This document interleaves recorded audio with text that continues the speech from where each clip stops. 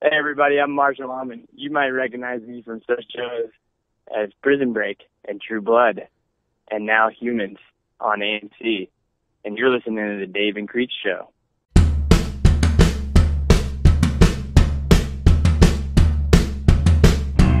This is the Dave and Creech Show, the only podcast where podcaster CJ Creech and actor Dave Sheridan come together to talk all things entertainment with your favorite entertainers. Want to ask our guests a question? Tweet them to at Dave Sheridan or at CJCNOV88, and they may be asked to our guests live on the show. We do have to ask you stay seated during the podcast because this ride may get hilarious. Now, here's your hosts, Dave and Creech. Hey, everybody out there. Welcome to episode 42 of the Dave and Creech Show. I am Creech. He is Dave. And we've actually got like a, a really long episode today. Well, that's because we have a lot to cover. And um, how you doing, everybody? Dave Sheridan, and I'm here with Creech. And this is episode 42, as you just said. Creech, I feel like we've been on episode 42 for like five episodes. Are you sure you're keeping track the right way? I mean, I just feel I- like 42 has been. I am. Yeah, I double checked actually before, right before we we started this. I had to go back and double check, and the last one was episode 41 with Michael Emerson. All right. And Got it. yeah, we're. It seems like we're kind of just stuck in our 40s right now. I don't know why. It does seem like we've been in the 40s for a while. You know what? You're not 40 yet. I'm in my 40s, and it kind of is uh, symbolic of life. You, when you hit that 40s, you do feel like you're stuck in the 40s for a while. Um, 40s is not good. 30s is good. 40s, not good. Yeah, well, Just with this people know. episode, we're only we're only 10 episodes away from a full year's worth of podcasts.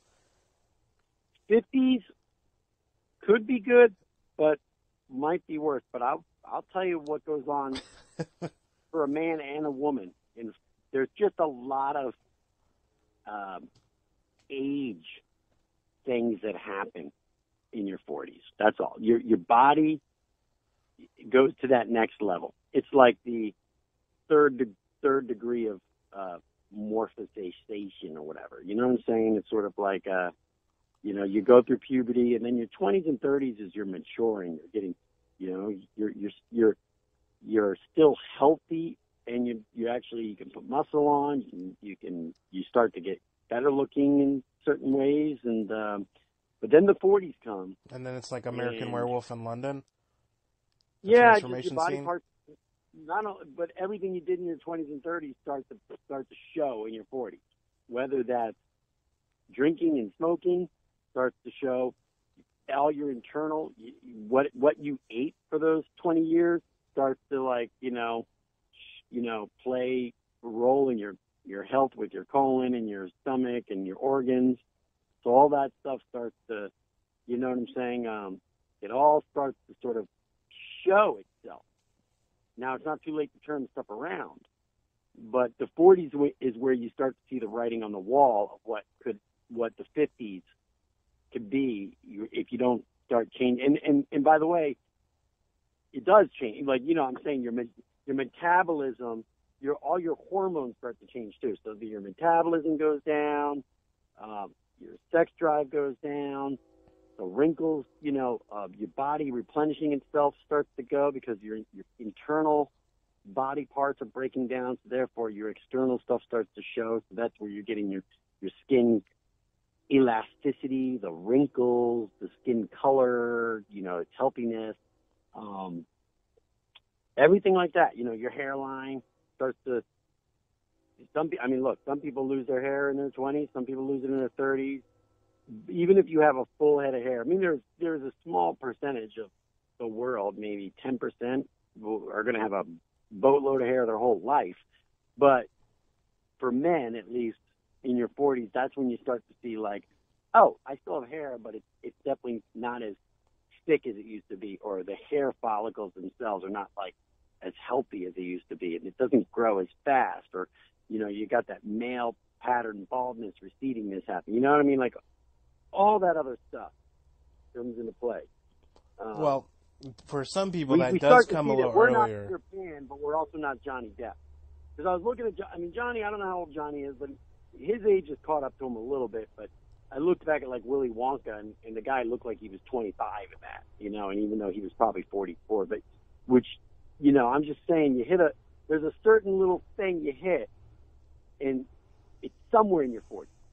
I think I'm just starting to hit it now. I think at 49, I'm, I'm really going to see it, and I'm going to wake up, go, whoa, shit, that hit me like a brick. A baseball bat, Negan's baseball bat. I didn't see it completely coming. I did see some wrinkles. I saw some bags under my eyes. I saw my skin start to droop. But then all of a sudden, one one year, it's just going to really go. Um, where where all of a sudden it looks like you aged seven years in one year. Um, I hope that doesn't happen with me, but you know you can't fight time, so it's going to happen either way. Yep. Yeah, yeah. Um, well, sometimes the baldness comes earlier. I know one of my friends is 24 and he's balding now. Yeah. But, yeah. yeah, I guess it's genetics or whatnot.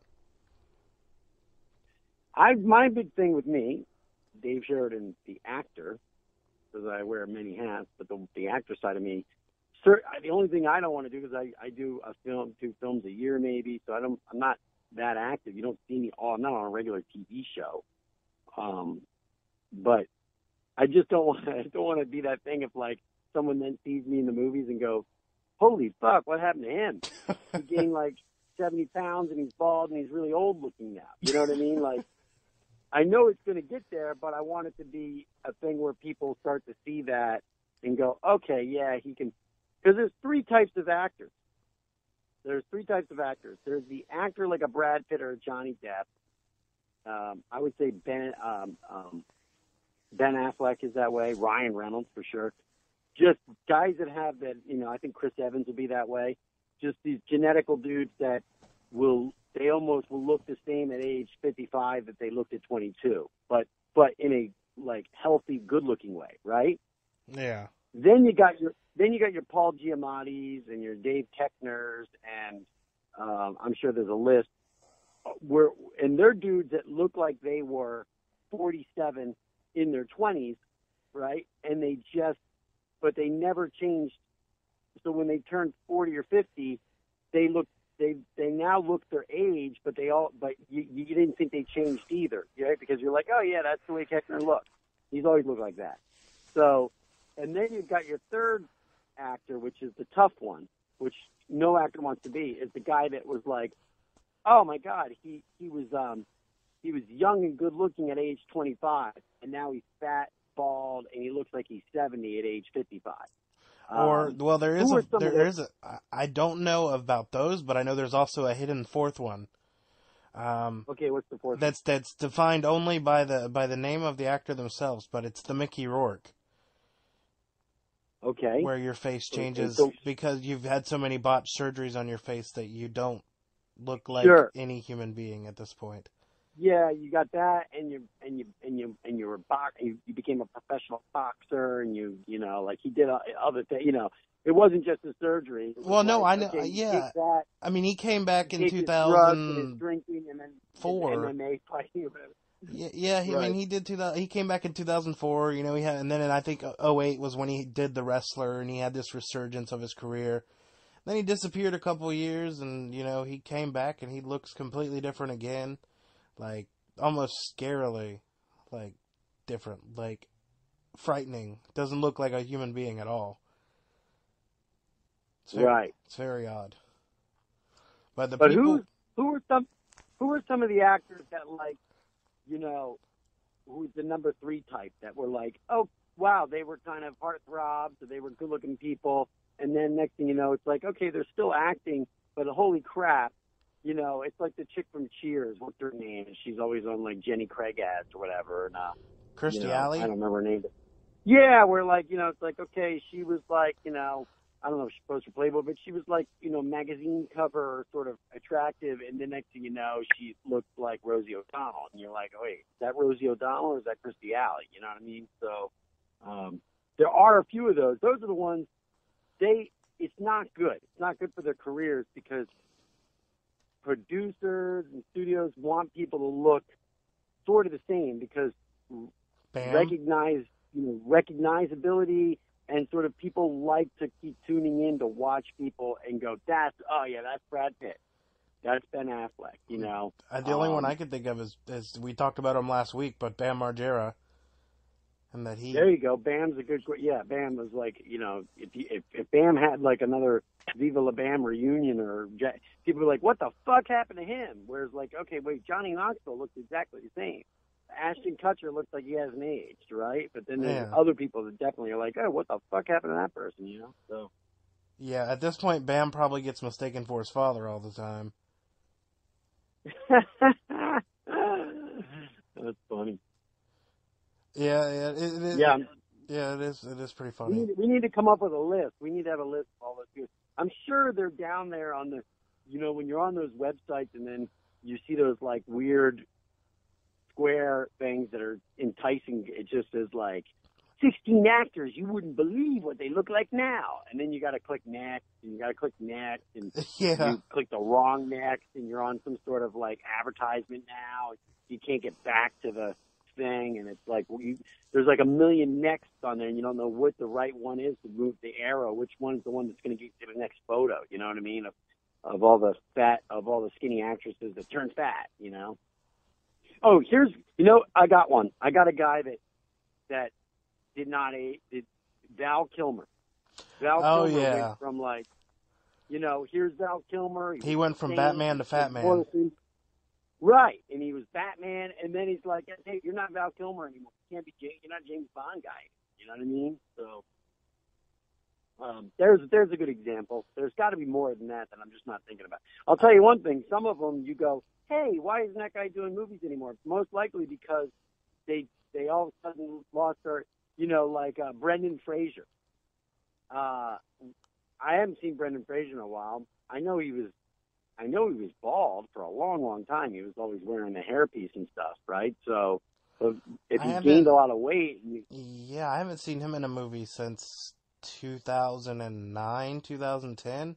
yeah, he might be unrecognizable now. So maybe you do see him in movies and you just don't even realize it because he's like, wow, he don't look anything like he, used to look, you know? Uh, He's- He's probably bummed over not getting cast in The Mummy. right. You got it taken away from Tom Cruise. Tom Cruise is the, is in the Mummy. Yeah, he's the lead in The Mummy. Which Mummy? The one that's coming out. Oh, okay. Yeah, they just released the first trailer, but yeah, he's he's the new lead and uh, the the new Mummy that they're doing. The re-envisioning. That's nice. So, is it like a still like an Indiana Jones kind of thing with like mummies? I don't know. They've they've only released fi- a fifteen. Like that's the thing that annoys me about Hollywood now. Now they release teasers for a teaser trailer, so it's like a fif- it's literally a fifteen second like couple of clips, and it's like the trailer comes Sunday. But um, it was released today, so I don't know much about the film, but I know it's it's a reboot of the Mummy franchise. But yeah, I don't and like all, all of these like Disney does it too. They'll post like a couple seconds of it and be like, the teaser comes this day. So I, I don't get the point of making a trailer for a trailer. Just say, Yeah. "Hey, this trailer's coming out soon. I wonder if I could ever convince Steven Spielberg to shoot a new ending of Close Encounters of the Third Kind, or just a remake a new version of Close Encounters of the Third Kind. That that I think that fran- franchise because they only made one. I don't know if they made sequels. That could even be a really good TV show. You know what I mean? Like elongated TV show, or um, just a reboot or I think it would be kind of cooler, like you know George Lucas, when he did all those Star Wars, he redid, you know, he added all sorts of new stuff into like all the Star Wars. I know that Steven Spielberg was not happy with the ending. I, I remember one interview he did a long, long, long time ago in a galaxy far, far away, um, where he said if he could redo, if he could, if he could go back for um, that movie, he would he would make the ending different. He he wasn't he didn't like the ending. You know, uh, he was a young he didn't have kids when he made that movie, and he wasn't married. He might have been married, but he didn't have kids. And he said, "Oh, after I had kids and I had a family, I would have never had the guy get on the spaceship and leave his family." And so I always felt like that would be cool. Uh, I think it would be better for him just to reshoot the ending with sort of like um, getting um, Richard Dreyfuss, but CGing. You know the you know the CG stuff they can do nowadays Yeah. so realistic. Like making Richard Dreyfuss look as young as he did. You know what I mean? Yeah. And and just shot for shot, like really making that thing look exactly seamless, but having a new ending. You know, that would be pretty cool. That would be. Hey, he might And need to, he might need to go back to some of his stuff because I know his newest movie kind of flopped, and that and everybody was, was- shocked. I think he did the BFG, Big Friendly Giant or whatever. Like that Oh, one, okay. that one tanked. That was the- like a, a bit. It was a that like a Bigfoot movie? I don't even know. It's apparently based off some beloved kids book. I think it was a remake of a of a cartoon movie that came out, or something like that. But uh, it, it tanked. Well, first of all, first of all, BFG is a terrible name for a movie. especially It a either sounds movie. like a food. Yeah, it sounds like food additive. It sounds like an underwear. You know what I mean? Like the sounds like BFG that ball. I think of being a gamer. I mean, there's a gun in the game Doom called a BFG, and it stood for big fucking There gun. Right. So yeah, I mean, I was like, "What is this?" I thought it was another Doom movie until I read about it. I, I want to start a new like little file for myself. I got to get one of those like notebooks and just write like things because I always come up with like movie titles, but with no movie idea. You know what I mean? Like I'm just like, oh, that would be a good movie title. I don't know what the movie is, but um, like I have this one today called Nanocyte, and it's like a paras. It's like parasites that are like nanotechnology parasites, you know, that like take over humans or whatever. Um, but that would just look. That word would look cool on a poster, and it's a you know nanotechnology is cool. Parasites are intriguing. Nanocytes. The other one is uh, that that my country Tizzy. Would I don't even know what that, it's like a song or something, right? But I Yeah, Tizzy is so that's a weird word. Like that's a weird group of wording, but it'd be a cool title for a movie. it I could. just want to start collecting good- titles. Yeah, I mean, well, hey, you've got some form of a uh, an audio notepad if you go through all of these hours and hours and hours of podcasts. There you go. Yeah, you know that's not going to happen.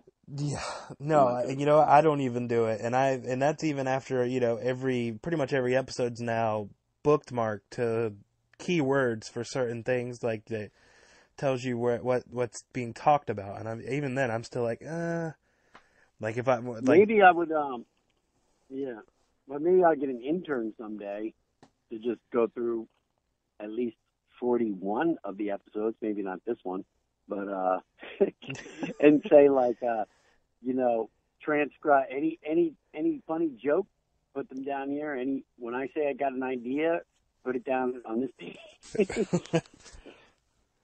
Exactly. like cleaning my room. It's like hiring somebody to organize my room. I, I do believe you'd have a pretty high turnaround rate for uh for them after they listen to two or three of our podcasts. They'd be like, "Nope, I quit." Hey, hey, if you're saying I can get one intern to get through two, I only need 22 interns. I only need 22 at this point. I can, it's doable, totally doable. Craigslist. They'll do, yeah, they'll they'll do pretty much anything on Craigslist. You can find anything. I hired an intern to um, put all my CDs. I mean, I had thousands of CDs to put them on to load them into um, and DVDs. All my DVDs, all my CDs to put them on hard drives. You know, like for my my iPod. And I loaded it all up digitally, and I think it was called Pineapple or something like that, um, or um, Mac the Ripper or something that I used for the the DVDs. And most of them went on. Most of them most of them ripped. I think there was only like maybe five that had some sort of pretty good pirating software that wasn't, you know, encrypting on the disk that wouldn't let me rip it onto my, my a hard drive, you know. So So somewhere I've got a hard drive with all my movies. Not not just my movies. I'm saying like, I'm saying all the ones I own. I you know I'm, I had like 120 DVDs. I get screeners every year. I probably get like 30 on average, about 30 screeners for like you know, and it's happening right now. The whole for your consideration screeners. Yeah. So, you know what I didn't get yet though? I didn't get Deadpool, but I they sent me Captain America: Civil War, I guess, or whatever it was.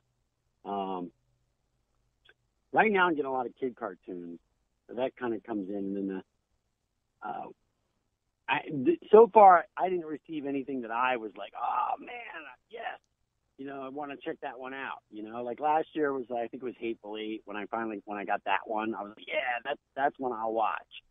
Because I don't, I'm not going to sit there and watch, like you said, the Beautiful Mind thing. Or you Yeah. know, no, you didn't mention that. But you know, I'm not going to watch that one with like Engelbert Humperdinck or whatever it was, where he was like trying to mathematically solve some thing for like the British Army in 1944 code breaker guy or whatever. I, I was like, yeah, that's I don't watch those movies. I get a lot of those though. I get, you know, the for, for your consideration stuff. You know, Yeah. they're they're always those type of movies. You know, you're always going to get one or two battered women movies or something like that. You know, like nah, not interested. Well. So I so I take those. You know, you got to imagine. I've been doing this for 16 years, so even if I'm just getting those, you know, 30 movies times 16 equals you a know, lot. You're looking at like it's not that many. It's 49, but it's 49 free movies. Wait, no, that's more than that. That'd be way more. right? Yeah. It's about 490. Yeah, and then I and so I got the intern to take those and put them into my hard drive so that I had it all on my iTunes. And then when I get when I finally get my new TV and I get my Apple TV, I'll be able to just have that all boom. Hey, bring up my my DVD library. You know, Yeah. Oh, someday one can dream. Right. Right when you get your 85 inch uh, non Black Friday TV. Oh no, it's got to be Black Friday, but I'm going to order pickup, I guess. Well, hey Creech, have you caught up on all your Walking Dead? Uh, yes, yes, I am. I did get a chance to sit down and talk with uh, Alyssa, you know, our dear friend, and uh, Susan Graham from Undead Walking uh, about Oh, the past cool. couple episodes. Nice. So, but Um, let's let's take a listen. Wasn't able to get on that call. Yeah, yeah, Yeah. you you All right. weren't available, but let's let's take take a listen so you can hear it for the first time. I bet you their thoughts are going to be very similar to my thoughts. I have an inkling, but I'm going to have to listen in on this.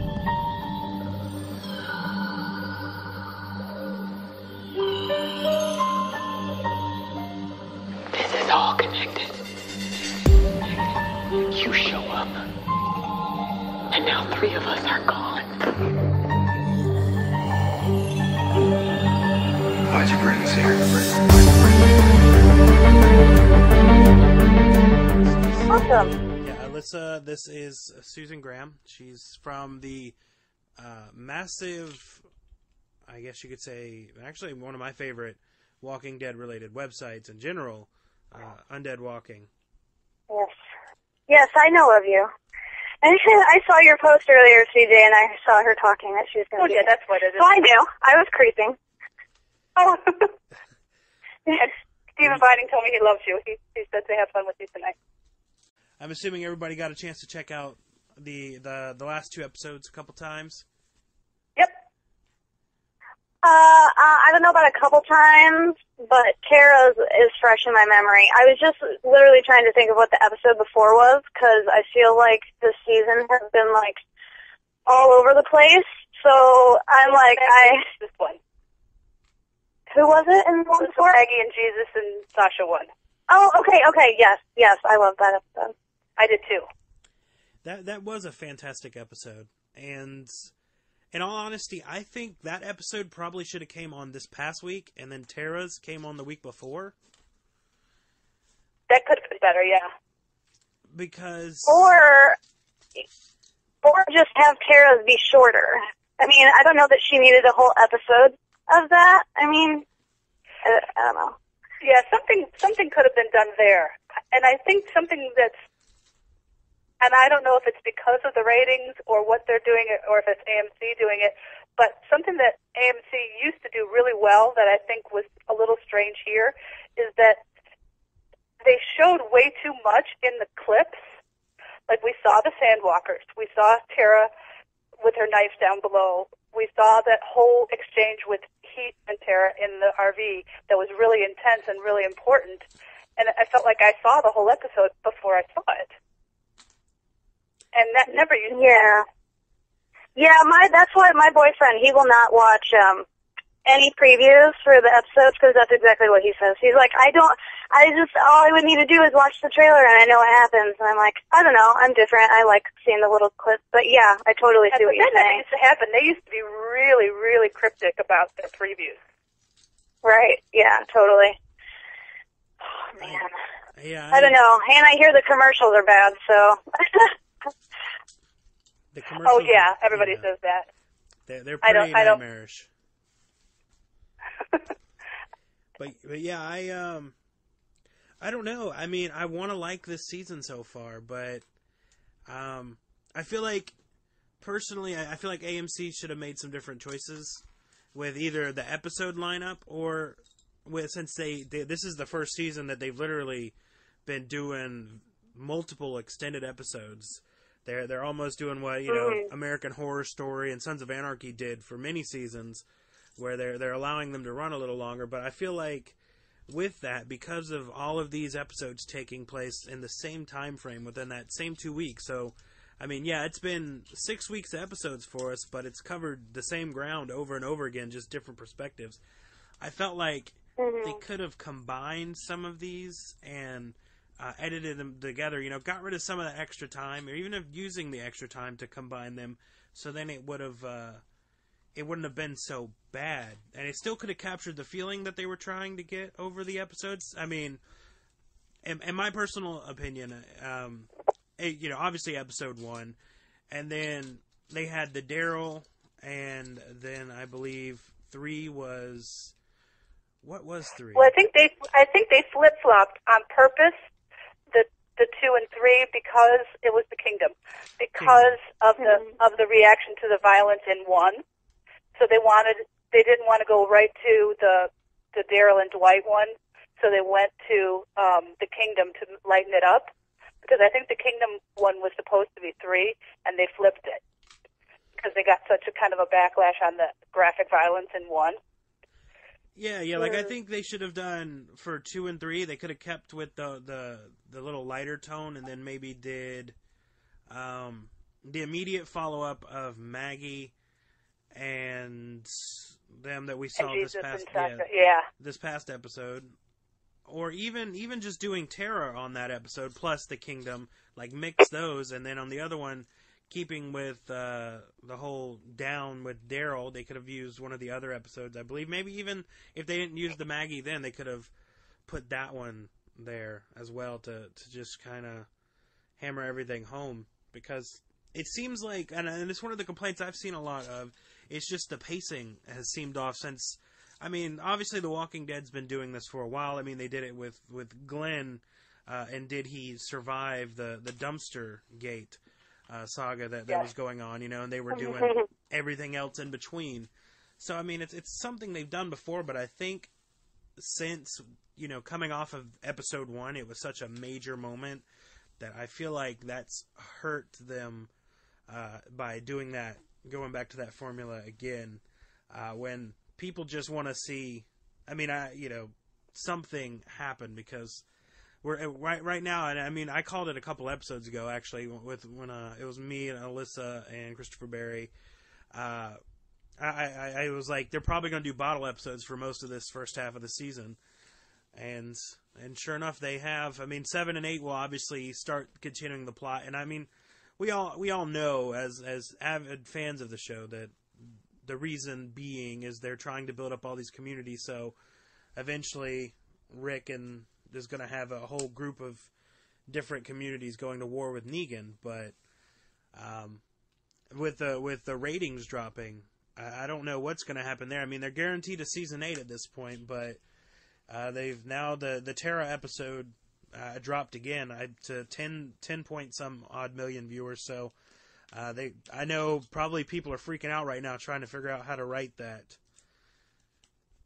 Yeah, I think too with when they when they preview, and the only reason I see some of the previews is because I'm I'm putting them up on Twitter from our articles. Um, people see that and they know that that's coming, so then they don't bother necessarily watching it live because they see, oh, this is going to be a Tara episode. I don't need to see that one.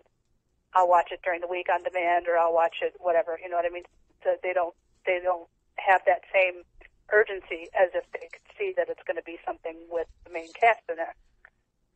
Exactly, and I think that's one of the the reasons I, that me and Alyssa chatted about as well is that, um, especially now you saw it with this week. Uh, one of the trending topics on Twitter after this episode airs was was people were trying to figure out who Heath was, um, just showing there had been Oh there there had been such a long break of seeing him on the character and, and Tara that they even forgot about Heath. And so, Yeah. I, and you know, I, I didn't even realize it until watching The Talking Dead when Chris Hardwick noted that it had been nine episodes since we had last seen Tara, which is a huge amount. Because I mean, even when Beth disappeared, that was maybe four episodes. This is like double that.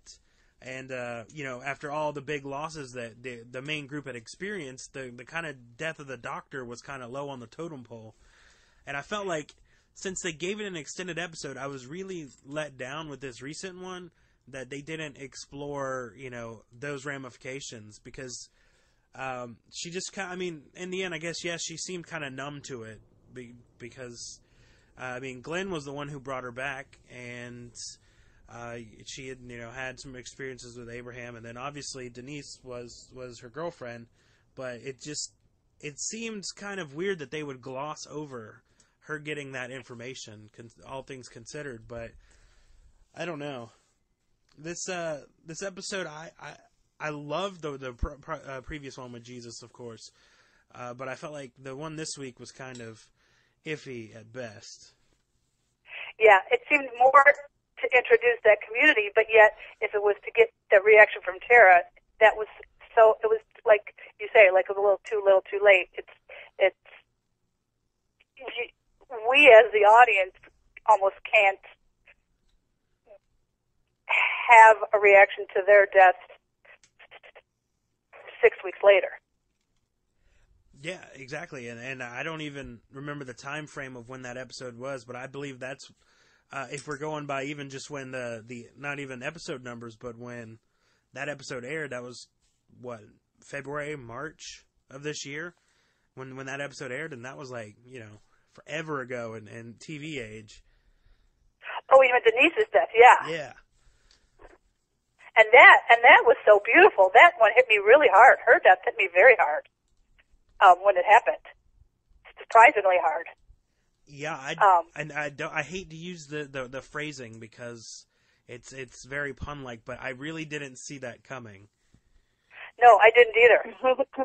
I didn't either, and it it it it hurt me, and it hurt me even like days after it happened.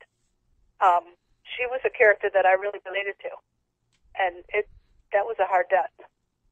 Um, yeah, I think the the weird thing about this show too, and I know they can't do anything about the number of episodes, is and especially with the cost of the type of filming they do, is that if they're following the comics and the comics are getting bigger, and it's it's getting more novel like, and when you're reading a novel, you can sit and you can get you know you can have you know part two and and you can go and you can explore a whole different community and then you can come back and your brain can remember all of where you were but when you leave visually in a TV show it's it's hard to come back to you know do you know what I'm saying Yeah, to where Yeah, it's a good way to look at it. to where you were. Um, you know, like um, I don't know if you if you read The Help or there's a lot of similar books that will will go from character to character to character from po- points of view, and you'll you'll almost forget like you were with Aibileen for a while, and then you're reading from her point of view and all of her stuff, and then all of a sudden you'll turn the page and it goes back to I forget the other um, character's name. Um, but then you start reading her and you're like, oh yeah, I want to get back to her and where she was in her house and and so but you remember. But with a TV show, it's a little bit different because you you know you it's just you haven't seen those people for so long and it's only eight episodes. Eight episodes is hard. I mean that's fast. And that's a lot of a lot of stuff to get in there. And um and Negan was such a huge thing. It was such a huge hype for from January to May. And then and I hate saying this, but I find him I really, really like him and he's awful and evil and things, but he's he's very tedious on screen. He's like very repetitive. Oh, yeah. I feel like that's Negan. Negan, eh, I'll read Negan in the comics. I just caught up. I've been reading the comics and I just caught up. And Negan is is just he's just that way. He just grinds your gears, and you can't. You just but he's just there, so you have Yeah. to de- you have to deal with him. So So they're gonna have I guess that's part to, part of his uh, character. they're gonna, I mean, if they're going to keep doing that on screen, they're going to have to figure out a way to, to, to, you know, figure put that in there. Do you know what I'm saying? They're going to, you know, Right. they're going to have to.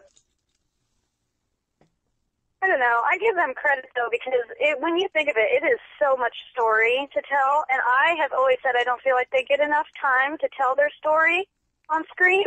So then when it comes to us, it's all feels like it's jumbled together and, and chaotic because really they're having to jam a lot of stuff. I mean, this whole war with Negan is a huge thing, and so I, I've liked the season. I don't. I mean, they could have switched up the episodes a little bit and showed different stories here and there. That's my only gripe about it. But other than that, I've really liked the seasons and the season. And I don't know, I just feel like it is all chaotic because we do have so many groups that are under the Savior's thumb. And it's like, it's like almost like how Rick seed it, saw it. It like blew his mind how many people were involved Yeah. in all of this. So for us, it's kind of blowing us away. Like, oh my gosh, there's another community here that the saviors are, are, you know, terrorizing. So, and now that I've caught up with the comic, I saw Oceanside. So, you know, I, it's going to be, it's going to be bigger. And I think that's maybe why they introduced it and how they did. Give it a whole episode so that when they do bring them into the fold later, it's not going to be such a huge surprise. So I, I get it, but yeah, I have that same complaint too about Tara at the end. I just, I, you know, the connection she had with Glenn and Denise, I just expected like this huge breakdown from her, and she was just kind of like the same chill Tara, like, oh yeah, no, I'm good. So I was kind of disappointed in that. I guess I expected some tears and like falling to the ground. I don't know, all But I think that might come, that might come at a different time when we don't expect it. And I hope I don't sound Right. coming off negative because I'm not. I don't. I don't feel that way at all because I'm a I'm a diehard fan. I think like what Mhm. TJ's saying too is that there are so many um, casual fans that like don't even know who Dwight is. Like where which I think is crazy, of course. Yeah. Or I said Dwight Heath. Um, like that don't even know who Heath is. Um, yeah. but I know. I just want to tell those people all the time. I'm always like, just, just stay with it. It's so good. It all comes together. It will pay off. It just, it seems chaotic now, so just Yeah. stick with it. big picture thing, and that's what I think I was trying to say with Yeah. the novel kind of thing. That was when you're reading a novel and you go from from piece to piece to piece, it's like what you say when you're reading a novel, like stick with it. Like when you Right. you're, you like go and and maybe in the first 50 pages you you aren't quite getting it, or you don't you're you don't know if you want to stick with it, and then all of a sudden you're like it's like you're hooked and you can't you you can't stop Exactly. and you're Yeah. so glad that you stayed with it, and then you see the whole picture come together. And I think that's happened a lot in a lot of seasons, where, like especially season two, where people, some people hated season two, and I love season two. And I think, Oh, I love it too. I think Sophia coming out of the barn, if they would have had Sophia coming out of the barn, like after two episodes, it wouldn't have had the impact that it had. Right. Gone through that slow, you know, all the things that we went through and not only that is it was a progression for Carol's character. Like it was going to pay off later as we saw her grow. That was the payoff was who Carol became and who she is now. Well, who she who she's struggling to be now. So it's like at that moment, like you said, people were just kind of like, "Oh my gosh, they, or what was it, a whole half season? Oh my gosh, they were just looking for a get it over, you know." And it's just like, but really, that that defined Carol in a very sad way, but it did. You know, she lost everything, but she rose from it, and so yeah, I just that's what I would tell people: stick with it; it will pay off. I think the second half of the season will definitely be the payoff. So I always think too of like Gareth and the Terminator people, or Terminator, um, Terminator people. I can't talk sometimes. Um, Yeah, me either. um, that that resolved itself so quickly, and some of the wolves things, and then people will complain and say, "Well, the wolves didn't, didn't never go anywhere, or the terminus thing didn't really go anywhere, or it resolved so quickly." Well, you, you can't have it both ways. Yeah, right. I mean, you have to. There's, it's it's a tricky it's a tricky line, and I think sometimes too. We think we could write it or move things around, but every little thing that you move around affects everything else. And I Right, they, like a domino effect. Yeah. yeah. I was going to say the domino shit. Um, Yeah. they have such a big picture in mind, and I hate when people say filler episodes because nothing's filler. Um, I just kind of try to trust and know that they have a whole eight episode picture in mind, and it all will come together somewhere. Um, Yeah, I, I but feel like and there are there are episodes that are are less like 4B season 4B wasn't that big. I didn't care for that as much as others, but I still love the show. Yeah, I, I love the show too. I, I will say the Tara episode's probably one of my least favorite episodes. Mine however, too. However, it, it's not the worst one. I mean, my my personal worst episode um, was actually the one that features the appear the first appearance of my buddy Ross, and I believe it was called Still, but it's the one right right when uh, Aaron is revealed at the end when they're and they're they, basically everybody spends the entire episode skulking and crying because Tyrese had just died. Yeah. Um, and, and Daryl's emo burning himself with a cigarette in the woods. So that was that was my that's my least favorite episode. But um, yeah, I mean, I didn't care for Dawn. I, I just didn't didn't really like her character that much. I didn't I didn't get her psychology, so I just don't. I never really.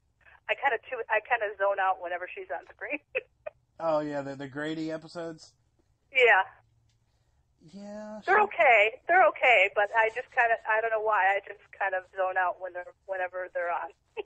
I thought those episodes were pretty refreshing. I thought it was a cool, different setting, you know, we're used to being out in the woods, and then next thing you know, you're like in the super clean hospital, and you're like, well, what the hell is going on? Yeah, That and, kind and of a again, cool those thing, were but, important, and, and and they were important, and they they introduced Noah, and they had important cool things in them. But they just I just somehow zone out when they're on. I feel like Noah was the, Yeah. the worst character on the show. Um, Oh, really? Might I add? Just because I feel like everything it was just it's just bad because you know I mean basically Emily Kinney's character you know Beth fights to to get him away from that. So then basically you know he gets he goes to Rick's team so then you know they do that. She dies because of that and then he's like, "Well, Noah wanted to go to Washington, so let's go there." And then of course Tyrese dies on the on the journey there. Then Noah dies once they get to Alexandria. Now Rick meets Negan because Noah wanted to go to Washington. So it's just like Noah just kind of just messed everybody up on that show. I'm, I'm, I'm like I'm Yeah, wondering. he didn't have like. There's always like this ripple effect when somebody dies, you know, and a lot of people are impacted. I, yeah, I don't feel like a lot of people were maybe impacted by Noah's death as profoundly as like others. I mean, I think Glenn did, but in the bigger Yeah. picture, come on, Glenn has seen so many, so many more. I want to say important people die, you know. Right, So I would think, you know, I don't know. Yeah. I agree with you, CJ. yeah, yeah. If I, if I was Rick, I'd be like sitting at that line. I'd be like, if, he's probably thinking if it wasn't for for Noah, I wouldn't be here. The only thing that ever really Right. made me kind of mad on The Walking Dead that I, but I got over it, was the dumpster. I I thought they should have let him die at the dumpster. You know, I kind of agree died, too. yeah. I kind of agree And too. I- And and I especially, and I wrote about this once, especially if they were going to just have him die from Lucille.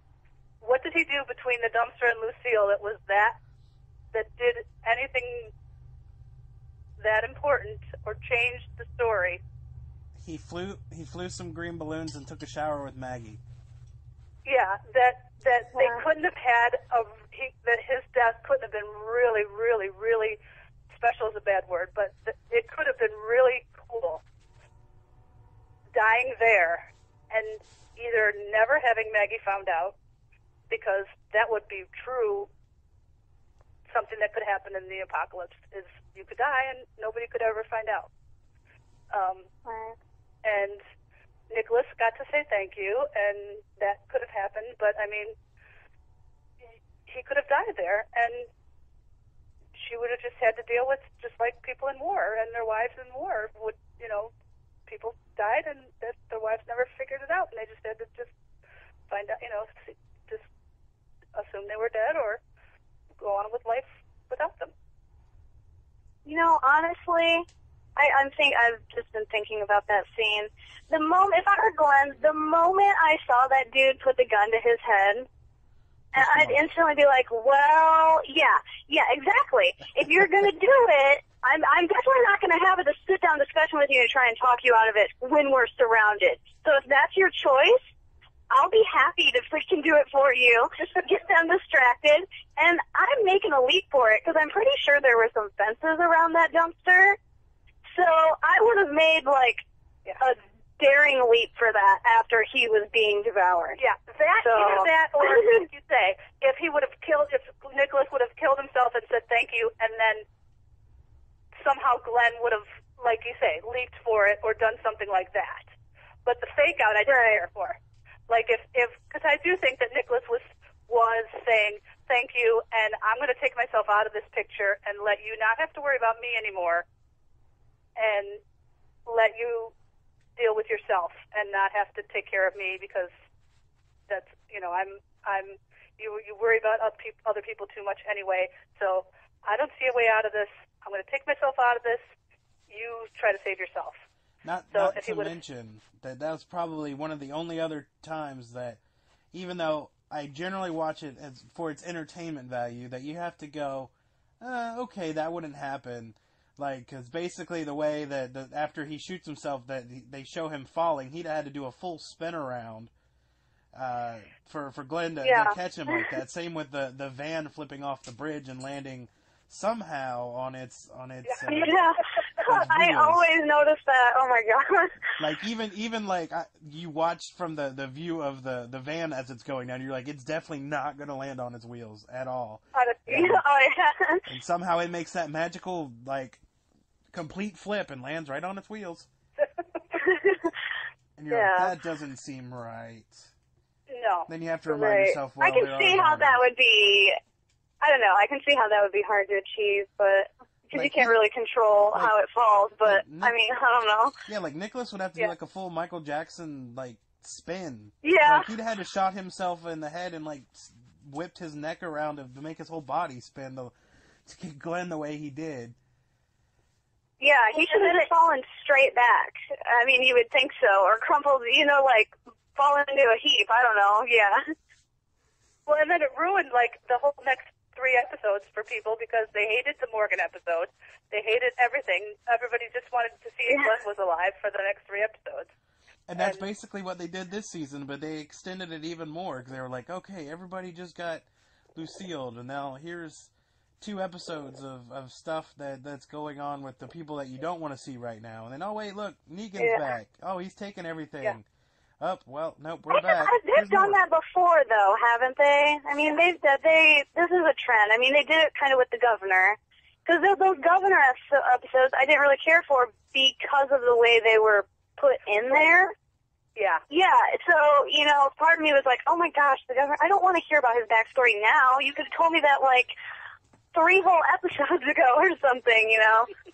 so that one kind of drove me crazy too. But this is nothing new for them. Now they just have a ton of material Well, see, to cover now. You know, before it was just Woodbury and the prison, and now it's like Now they're yeah, like five different I places. think I, I, I think you that you pointed out that was season four, and then you know the Glenn thing was season six. I think each season they're doing this and they're they're extending it. They're they're trying to see how long they can they can extend that between the important moments. Because yeah, like you said, the governor Yeah. was only like two episodes, and then season six it was like what three or four episodes. Now we're going on basically five episodes between major stuff. So it's it's interesting. But I, I feel like And I don't know. I'm gonna give I'm gonna give props to Steven again real quick because he had to keep two major secrets two separate times. That poor guy. I just they unnecessarily put him through the whole dumpster thing. It's like poor guy. Yeah, well, I mean, technically speaking, by the time that that episode aired, they they had um they, they were either getting ready to shoot his actual death or he might have already shot it True. Yeah. because uh, that aired that aired I remember the week before uh, Walker Stalker Atlanta last year, which would have been late October Halloween weekend, and then they they stayed a couple of weeks after to shoot the death. So, um, yeah, they're they're they're. They, they, I do feel bad for that, and same with Cudlitz, because I mean, Cudlitz, you know, we're actually going to have him on the podcast again in a couple of weeks, and uh, Cudlitz has Cudlitz has been like uh it's like between the two deaths, everybody like freaked out about Glenn. And I didn't see so much about Abraham. I mean, I saw stuff for Abraham, know, but it was like a lot less. And I'm like, ooh, dang, he has like a shadow over his death. That's for sure. I know. Poor guy.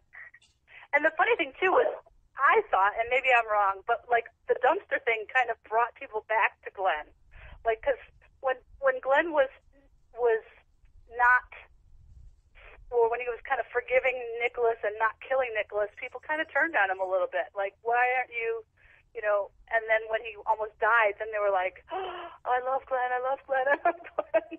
And Yeah. Then, and then you know when he got killed here, then everybody's you know. But um, yeah, poor Abraham. Nobody. there's memes out there like you know I died too. Uh, I know. yeah. R.I.P. Abraham. Well, well, we, now I love. I love, I can't wait to see more of of Ezekiel and Carol and Morgan and my favorite. I love Father Gabriel. Nobody likes him but me. Um, I think everybody's starting to come many- down to, to come around to Gabriel now. they're It's- starting it to, seems yeah. like he's- but I loved him.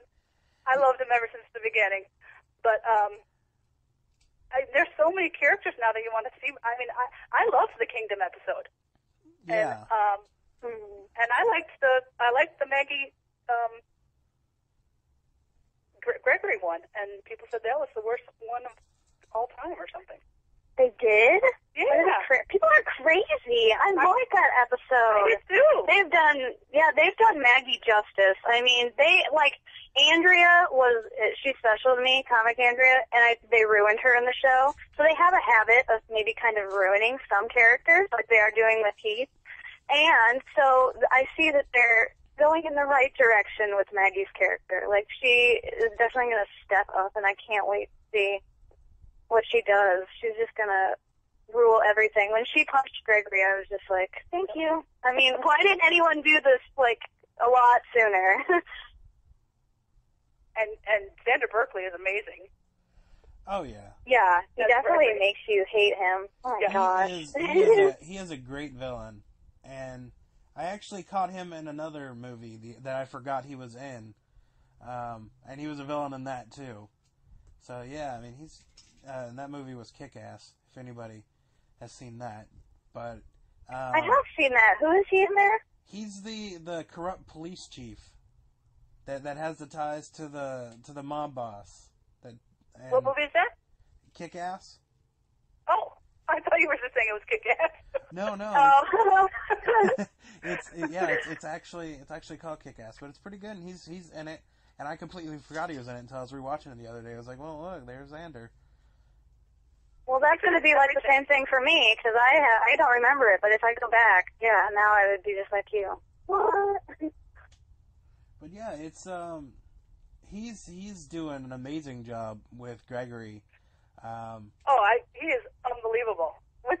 he's like he thought Well- was part of the hilltop. He's like, get back to your work in the hilltop. and and I've and I've yeah, and I, I've seen he's I've I've seen some uh, articles also pertaining to you know his his or Xander's other friend Steven Ogg, and uh, I mean for a while the rumor mill was stating that Steven was actually going to play Negan before they announced Jeffrey Dean Morgan, and in some ways after seeing his performance in that episode, I was like, you know, he could have done Negan as well because he's just perfect.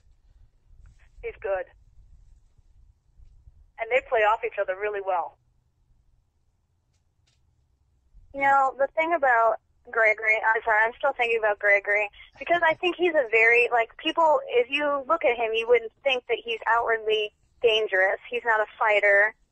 Um, but what makes him dangerous is how much of a coward he is. Yep. Because as we saw, he was just going to give up Maggie and Sasha because he's a coward. And so it's like he's a bigger danger to that community than I want to say the Saviors at this point because the Saviors can burn some freaking cars and let some walkers in. But if you got this guy ruining big plans to take down the bad guys, well, I'd say he's he poses the most serious threat at this point for the hilltop.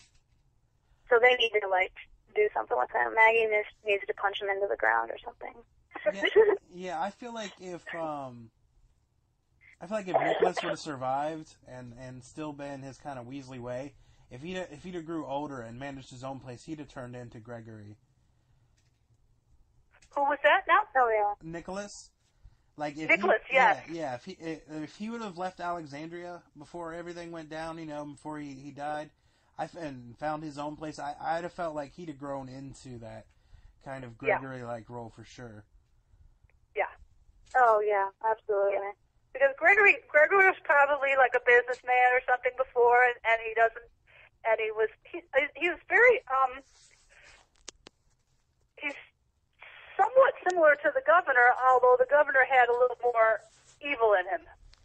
But he's got that. I, I always remember the governor saying to Rick that he was sitting in his office taking orders from a, a boss half his age, and he had that that that thing where he was like just always didn't feel good enough. But the, the Gregory kind of feels like a businessman who is just he just doesn't you know now the apocalypse has, has happened and he doesn't want to get dirty and and there's walkers everywhere and he needs to be protected from that. So he's like, you know, go clean up and he's wearing suits all the time and what the hell do you need to wear a suit for in the apocalypse?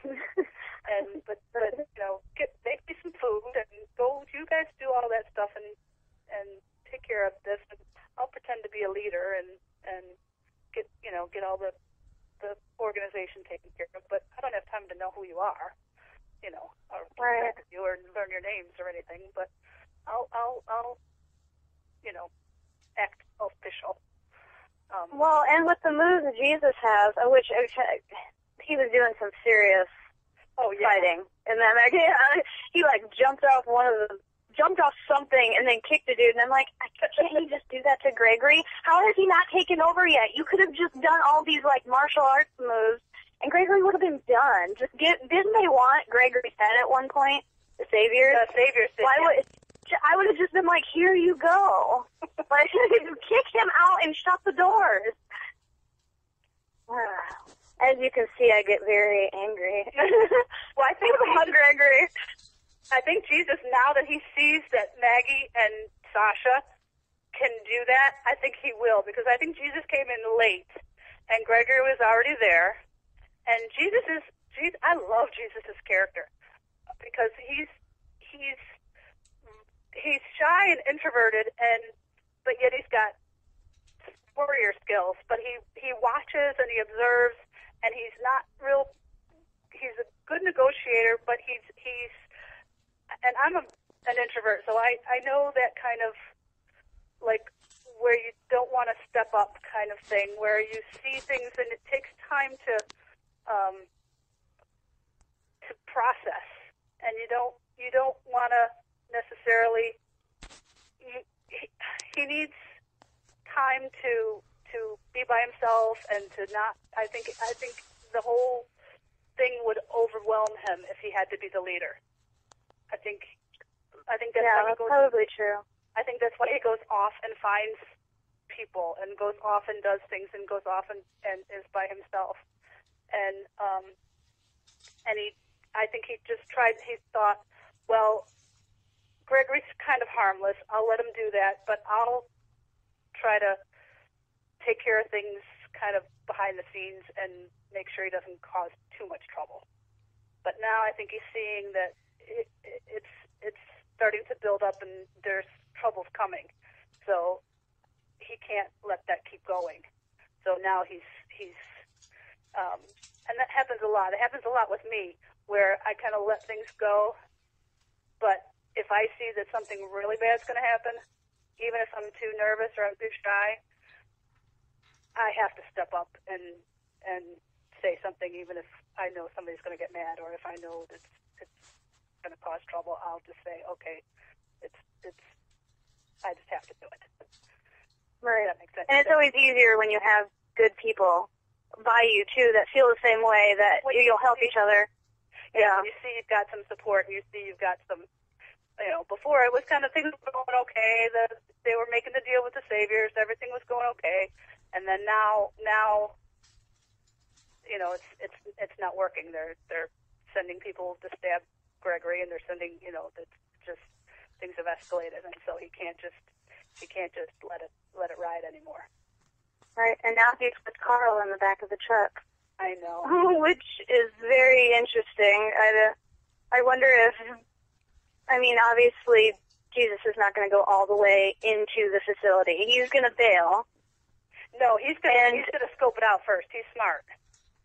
Right, but I'm just saying, like, I wonder what he's going to do about Carl because he's, just, I mean, but nobody can really stop Carl, I guess. You know, he's just going to Yeah. do it. And Jesus that's isn't going to want to compromise the plan, so he's going to dip out. Yeah, I don't know. Hopefully, maybe he he can he can.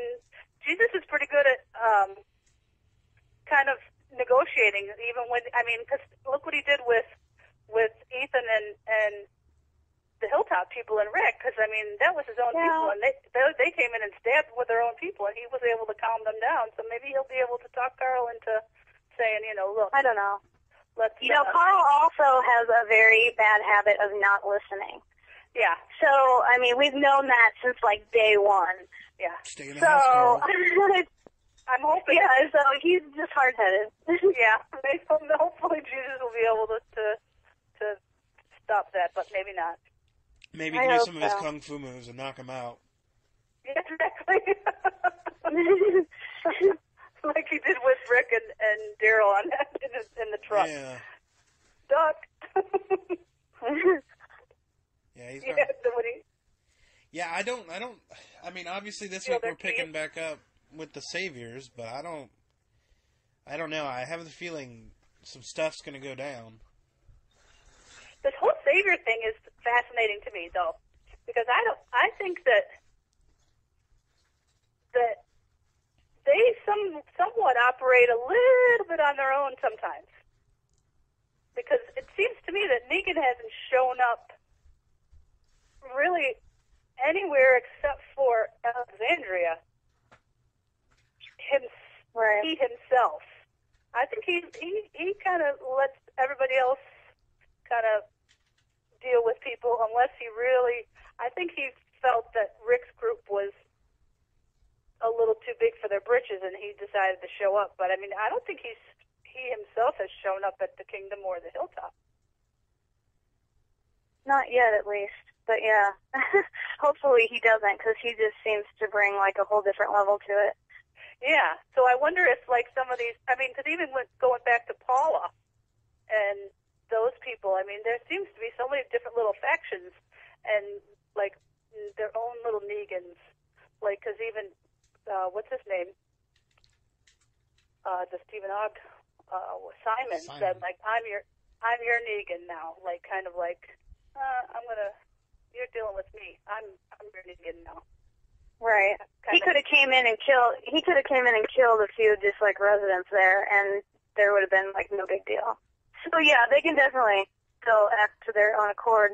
I think Negan just lays ground rules, and they all know not to cross them. And then he's like, "But if you feel the need to kill somebody, go right ahead." Yeah, and they all. Yeah, it's it's a it's a weird little system he's got going.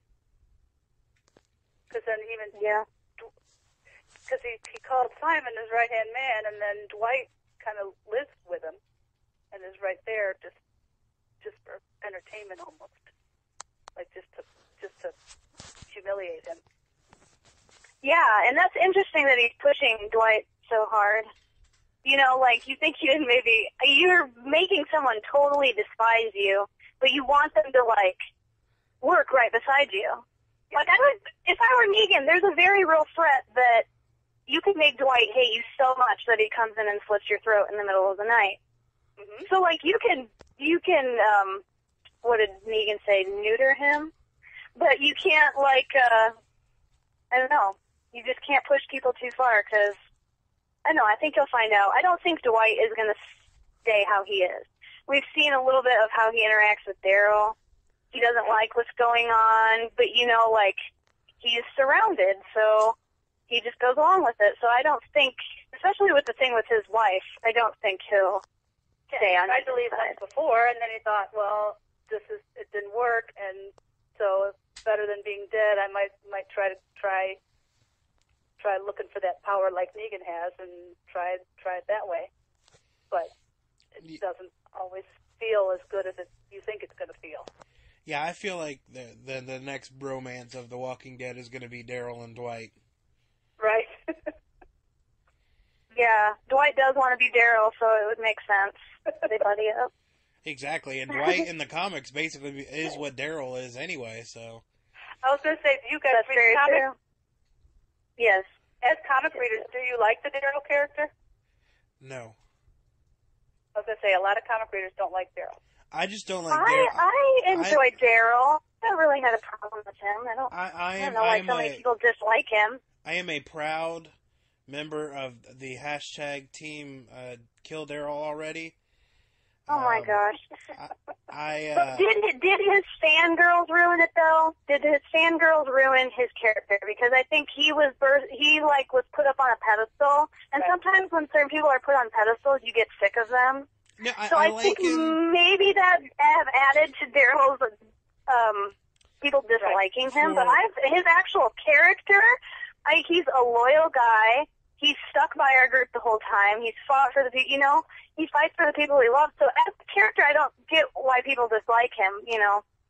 My Daryl. my reasoning is, um, I I mean, I liked him in season one, obviously, and then in season two he was all right, and season three is where everything started to go downhill, because of of course one of the reasons was the fangirls did show up, um, but my main my main problem was uh, I don't know if you're aware of wrestling, but John Cena.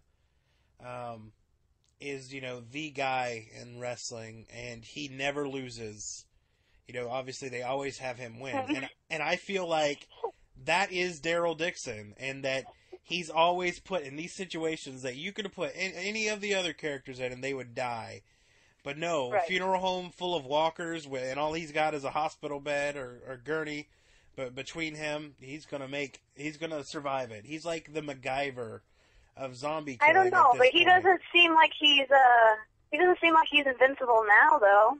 You know, he's either torturing him, so he's not you know totally just- skipping away from this. it's just it's just building up though because it, it's like you know John Cena gets beaten down a couple times sure but then you know in the, Oh, in, in the in the long battle Daryl Dixon's gonna come out on top you know especially now man. he's got to—he's got to use his like the- bazooka again I didn't like that they played with us with the. um well, I mean, I did not like it, but I I was surprised that they played with us on that thing with Negan coming out there and and uh, in the the the yard there, where where he almost hit him with the bat.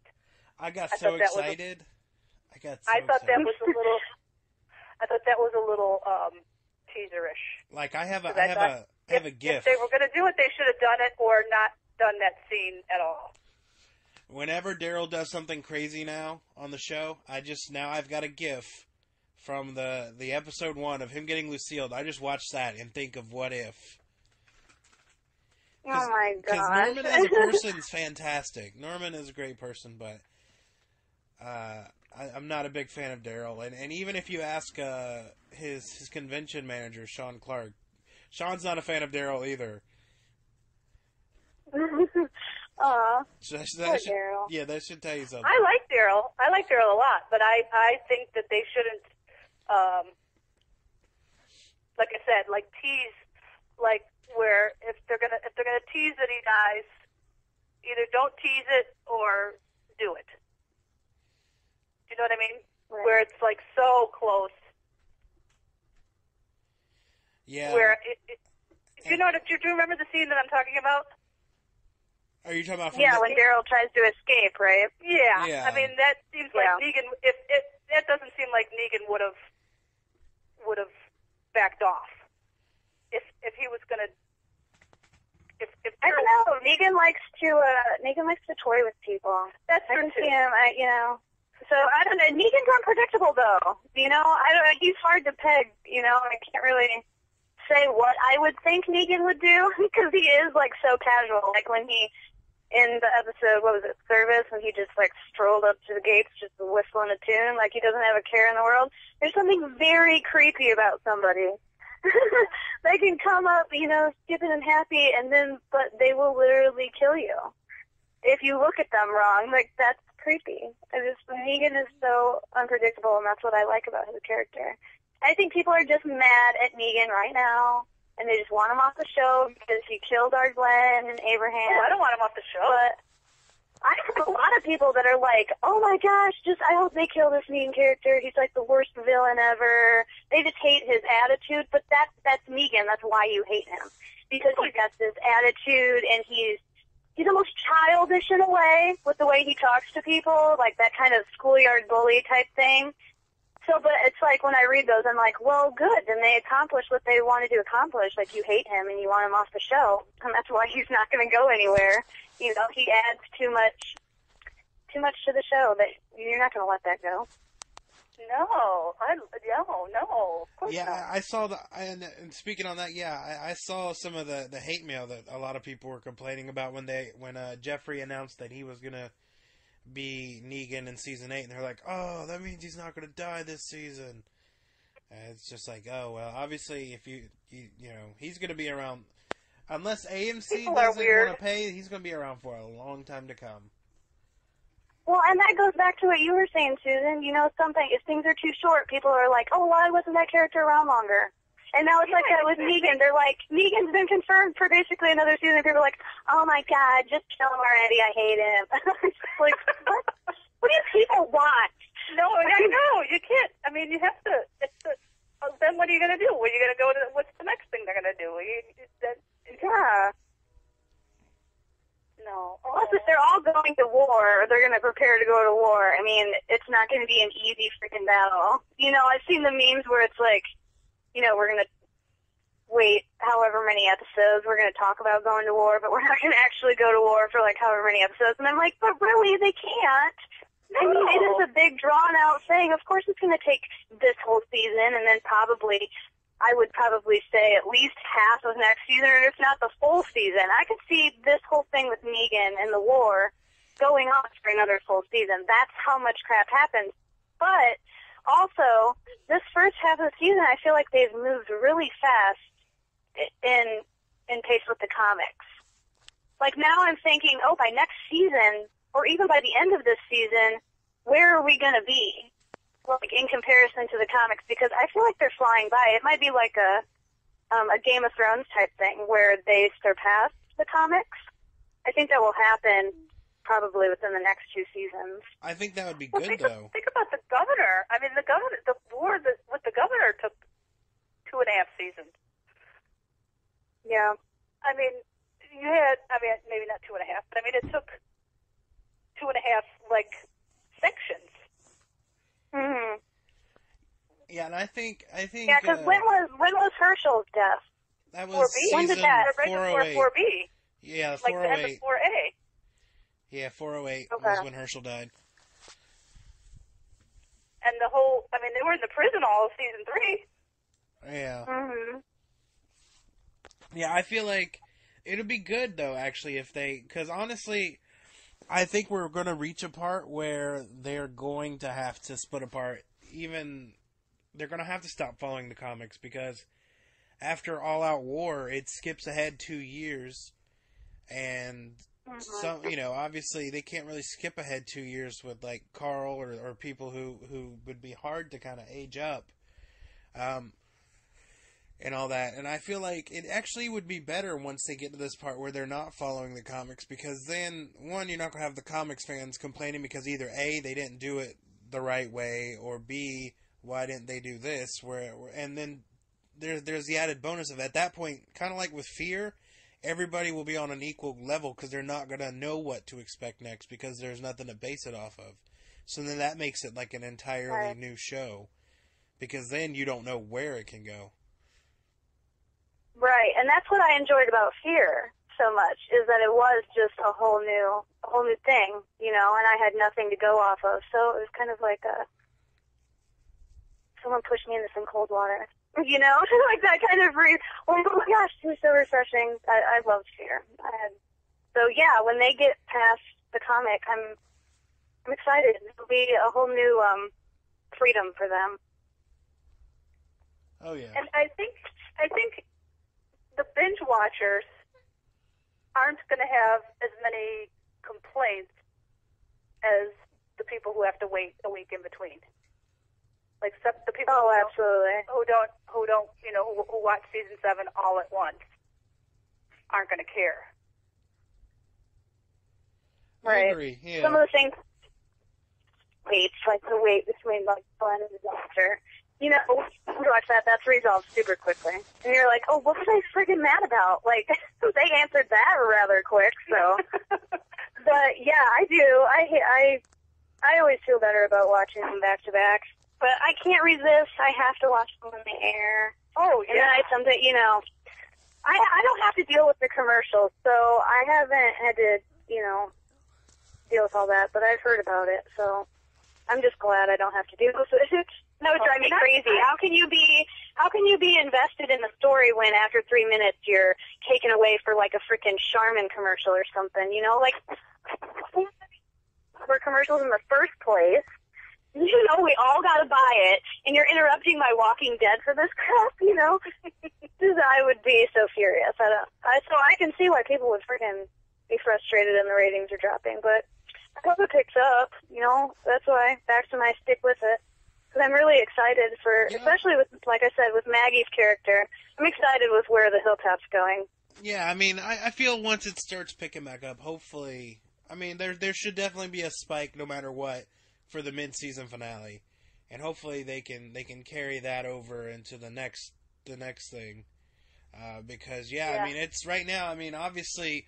We, we knew at the end of episode one that there would be a huge drop, and there was. I mean, it was 17 million, then it went, I believe it was to 14, and then it's just been dropping down and down to 10. But I, I feel like um, I was going to say, what is it? Because 10 million people is a lot of people. Yeah, t- it's it's it does I have know, ten yeah. million. It's still it's still the w- without a shadow of a doubt, and by far the the highest rated show on Sunday nights. Still, um, ten million is definitely pretty amazing. Still, um, but um, yeah, it, it went from the second highest watched episode. Now they're the the shows are about where they were in season three. But I feel like whatever happens this week, and then whatever the mid-season finale is, I think at the mid-season finale we're going to see definitely a, a spike in viewers coming back, um, and then hopefully whatever hook they have for the mid-season will will keep people coming back and invested in the next part. Do you think that it's it's because the show is seven years old, or do you think it's because of the show? I mean, I think any show at seven years, sometimes people just lose interest. Yeah, I mean every every every show kind of has their their slump. Um, but I don't really think it's a story thing. I think a lot of people um, either a tuned out because they they were just done with the show after the first episode, or b some of them were just have just gradually because I mean I've noticed it myself this season that the the like Alyssa was saying the commercials are just so poorly placed apart that um, I've had people and Alyssa's had people tell her that just flat out look I'll wait until it comes on Netflix or streaming or whatever to actually watch it. Um, Right. Yeah. a lot of people do that. so I feel like that that's that's contributing to it, and then it's just people are are wanting to wait to see it all happen because they they're just kind of sick of doing the you know individual episodes. Okay. Yeah, that makes sense. What, another quick question I wondered if, from you: Do you think um, people? Do you think that the cliffhanger thing lost steam, or do you think people were still mad about the cliffhanger, or do you think that they were like the, the people that threatened to quit because of the cliffhanger? Do you think they they just tuned into the first episode to watch who died, or do you think people got mad because it, of the violence in the first episode? Do you think that had anything to do with anything? I think it was a little of both. I think anybody who was really mad at that cliffhanger and were like, "I'm going to quit the show," I think no matter what, uh, everybody came back to to see the ending because. Um, but at that point, I think some of them may have just been like, "Okay, well, Glenn died or whatever, and I'm done. I, I don't want to watch the show anymore." Um, I don't need that. Yeah. yeah. And I mean, yeah, it well, was. also, I was think very, it was. Um, yeah. uh, yeah, it was it was very uh, a very graphic death, sure. Um, I mean, it needed to be, Yeah. and um, but you know, for the longest time, we're we're used to seeing. I mean, for most intents and purposes, we've seen worse happen to walkers by our, our people, but to see it happen to somebody that you've been following, I think that's where everybody kind of got hurt or upset over it more. Yeah. Well, and it started. It started. It's a, a different way to start a season. I think I was mad at the cliffhanger, and I think it paid off in a way, but I still think it should have been the season finale. I don't think it should have been a season opener. I don't, I just I feel like they wanted to get that cliffhanger to get keep people talking like through the summer. So I think it was just kind of like a cheap way to get people hooked. Because I think I I still will say that that moment. I mean, it was while it was still sad and I still cried my eyes out. It would have had more impact had it been all together at that season finale where they're all lined up and then it ends, like leaving us like like Maggie was, just left sitting there in the remains of you know a character that we loved. We you know that would have been a better way to end it sort of with. And I think that's maybe why this season feels so weird to people is because it started so low. So it's a because it is. It's a weird way to start a season. So brutal, and you just lose a major character. Like super dark episode. It's hard to start a season in such a dark place and expect the, the audience to rise up, you know, and stick with it. Because most people are like, wow, you know, I waited all that summer, you know, this sucks. I wish it would have started with them coming back, you know, this fire in their bellies. They're all finding these new places. That would have been a better way to start this season. You know, people rallying the troops and meeting the new communities. That's just my two cents about that. yeah. That's interesting because I I I I was never mad about the cliffhanger because I expected it, but I expected it in a different place. I expected it with Negan coming out of the truck and saying, "My name's Negan," and then it's turning black. I didn't expect him to go into his old monologue. I expected you to right, yeah. face and to hear him say his name and be like freaked out, like, "Oh my God, that's Negan," and then that's it. But yeah, um, and that's even kept people as a hook for the summer. Like, oh my God, we got a glimpse of Negan, and we know this moment's about to happen. You know what I mean? Even that would have been a good spot to stop, you know.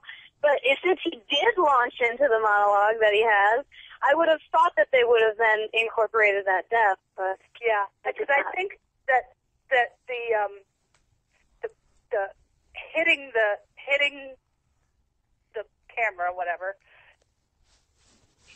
like it just lacked emotion because you didn't really get to feel. I mean, you knew someone was dying, but you didn't feel it. I mean, even if I, I don't know how I'm going to say this without sounding stupid. Um, You're okay. Go ahead. like if just seeing some seeing the bat hitting something, even if you know it's hitting an animal or hitting uh, anything, if you don't really know what it's doing, you don't Yeah. you don't have a connection to it because you don't know what it's doing. I mean, you know it. Right, and all we got were the you know sounds of people. And the, Right, and yeah, the very cheesy saying no James Bond blood thing running down the screen. Yeah, yeah, So you, totally. it didn't really matter. It's not like you have to know who it's killing to feel bad because you should feel bad no matter who it's killing. But you don't. You, there was nothing to. You didn't have any.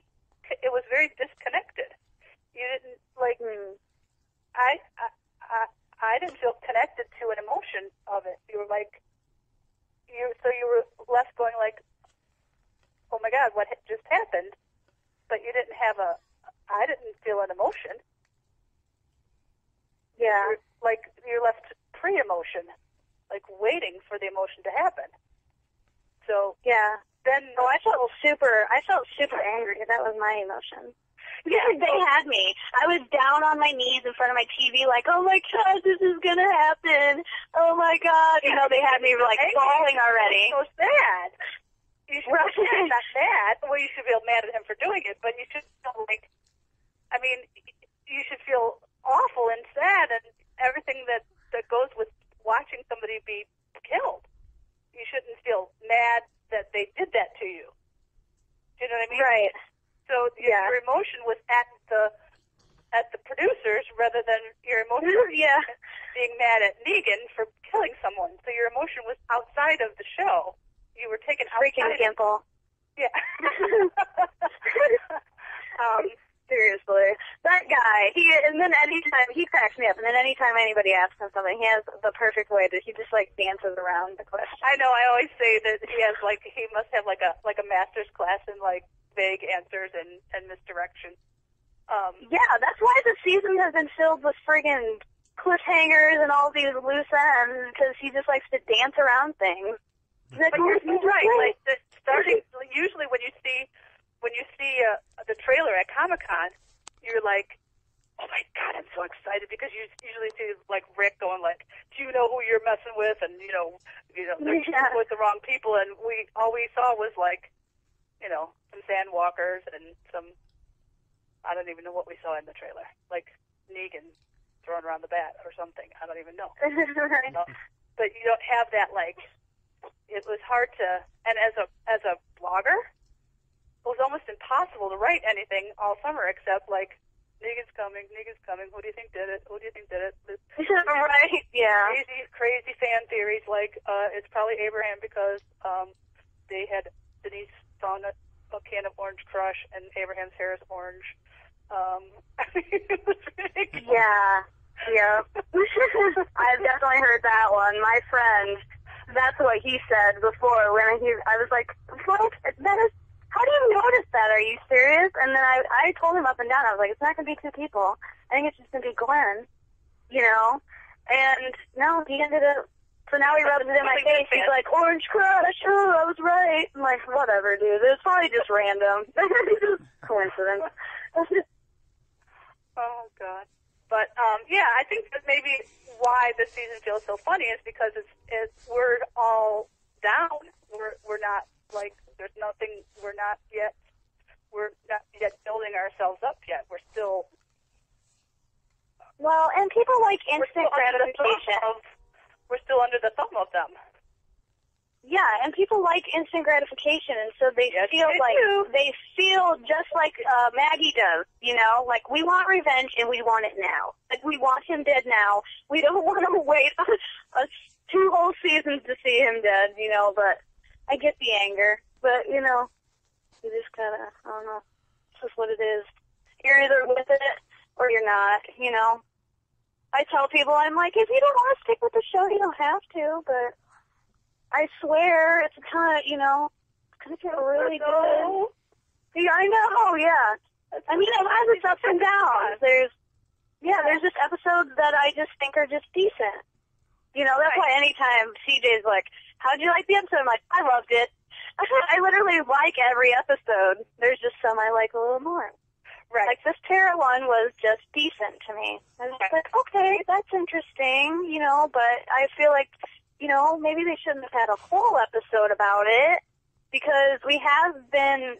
I mean, but then again, I think you know what I have been asking. Gosh, I wonder what happened to Tara and Heath, and then I get a whole Tara episode, and I'm Heath, and then they probably Yeah. figured, well, we've got to put that whole other community in there, and so we put that in there with Tara and Heath. And Yeah, I'm like one of the fans that complains, and then you know they give me a whole episode, and I'm like, oh, why a whole episode? So I probably should just shut up and not complain about it because I that's what I was wanting. I would say there's a reason for for everything that they've that they've got some big storyboard for all eight episodes. Right, planned seasons ahead, probably. And so all eight episodes are a big puzzle, and it all fits in there somewhere. And so they've got if, if they took one piece out, it would throw everything off. So I figured I'll just let them do what they got to do. Right, yeah. I'm not a writer. I have no idea how to run a show, so who am I to talk? All right. So, so what is uh, everybody's final thoughts on uh, these last two episodes and where we are going to end up at the uh, end of this coming episode? I'm not a good speculator, but I can't wait for um, just more going back to the other places. I can't wait to see more Morgan, more uh, Carol, more Hilltop, and more Ezekiel, and I guess more Negan and Savior, and see what what the Alexandrians have to to do when they, Yeah. they can start start start combining forces. Yeah, I mean, I'm super excited for this next episode. You know, this whole thing with Carl was a big point in the comics, so I've been kind of looking forward to this whole thing with him getting in there because he has say- taken a weird kind of liking to Carl. So I think that dynamic is going to be interesting to see. Without Rick present, you know, how does Carl handle himself? You know, in real situations because he's always been protected by his dad in a way. So to be on his own in such a in hostile territory is going to be interesting to The see, the and with Daryl being there. So Oh, yeah. Oh, does anyone think that they're speaking Morse code? I don't. Uh, you know, I, I thought that maybe was, you know, I thought it was weird the placement of the Morse code, and then Daryl blinking on how he was, and I'm like, well, is he doing that because it's supposed to be like we're supposed to pick up on this? But yeah, He's doing that kinda because Scott Gimple loves misdirection. funny. yes, he does. But Um, yeah, I always that's what I'm excited for, Carl. yeah. Oh, Carl, I, Carl. I've heard that the name of the episode is very related to Carl, which I have no idea. Oh, you'll enjoy it. I think this episode will. I think people will, will enjoy this episode. Yay. And I always remember that the second to the last episode sometimes is, like, really good. Like, that was when Murphy Yeah. died, and, uh, you know, sometimes the second to the last can really set up a really good thing. Right, exactly. Well, all right, ladies. Um, I guess that that'll pretty much wrap it up for the the wrap up this week. Well, all right, ladies. I will chat with you All right. all online. In the meantime.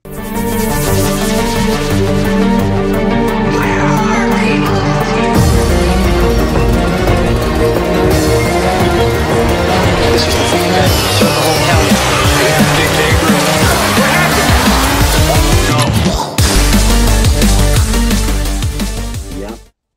Think I concur with everything they say. So we have a very special guest. They're always they're always very special guests. If you're on a podcast that is co-hosted by Special Officer Doopy, then you automatically are a very special guest. You know what I mean? Everyone's special on the show. Everyone is. Um, but this is a, a very cool guest because he's been in a lot of my favorite TV shows, and unfortunately, I couldn't talk to him. I really wanted to, um, but I had a family commitment. Cub Scouts pack meeting. Yeah, that's what it was. Um, but uh, you know, you might you might know this guy from his role from Prison Break, and um, then he's also on an AMC show. What's it called? It's called What's what's it- Humans. And uh, season two is coming up on AMC uh, early next year. Not to be confused with Being Human, right? No, yeah, different show. But yeah, he's been in that. He was in Hostage. His first movie he ever did was Hostage. I thought Hostage was a TV show. Uh, maybe a TV show too, but the, I'm talking the movie with Bruce Willis. Um, and there's the guy from Texas Chainsaw Massacre along with him. They kidnap, uh, I believe it's somebody's daughter, and just Mhm. Bruce Willis has to go in and basically kick their ass, and it's a phenomenal movie. Not as good as Die Hard, I don't think. Isn't it called? It, it sounds like a Die Hard. Sounds like Die Hard. It it kind of is, but but yeah, no, it's it's a fantastic movie, and he's he's gone on to do everything. He was in uh, that show Aquarius with David Duchovny last year. He's uh, he was on Oh, Bates yeah. Motel, um, as Wow. well. So he's he's been very very busy. I'm actually surprised we got him for this, but but the good news is Dave, which as you'll hear in the interview, he is open to returning, and he will have more to promote in a couple of months. So you you won't necessarily miss Obviously, out. He's working so much. Yeah. Yeah, the guy's so busy. Yeah, he's been back here promoting a lot. We ought to get a, we ought to get we ought to charge him ten percent. Yeah, give 5%. give him a, a recurring role so he can promote his newest project. Yeah, recurring though. We're not going to make him a regular. No, not a regular. Recurring though. I can't afford. I can't. I can't bump up any special, very special guests to those contracts. Can't do that. Nope. So, without any further ado, here is Mr. Marshall Allman talking with yours truly.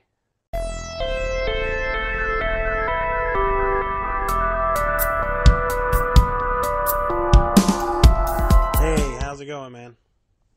Good, yeah. Uh, yep, going pretty good. Thank you for uh, coming onto the show. We, we definitely appreciate Yeah. it. Hey, I'm happy to be here. And uh, you- you've been a, a very, very busy actor recently. yeah, it's been a, it's been a really good year. Yeah, I was, I was going through your IMDb, and it's like uh, it's it's uh, really a who's who of uh, like successful TV shows going right now. Yeah, man. I, I, you know, I've just, uh, I don't know, man. It's been, it's been really nice. Um, you know, been doing it for a little while, so there's always ups and downs, and there's years that are better than others, and this has been a really good year, and hopefully it won't, hopefully it won't stop. Oh yeah. Well, I mean, yeah, you've been involved with some some major shows. Uh, I remember. Uh, I think one of the first ones that that I personally remember seeing you in was Prison Break, which was a huge show. And uh, yeah, I remember when we did that show, and it was started getting popular, and they were like, "Yeah, we're number one in Israel," and my mind just was completely blown. I mean, I was only like 19, I think, and uh, and I was like, "What?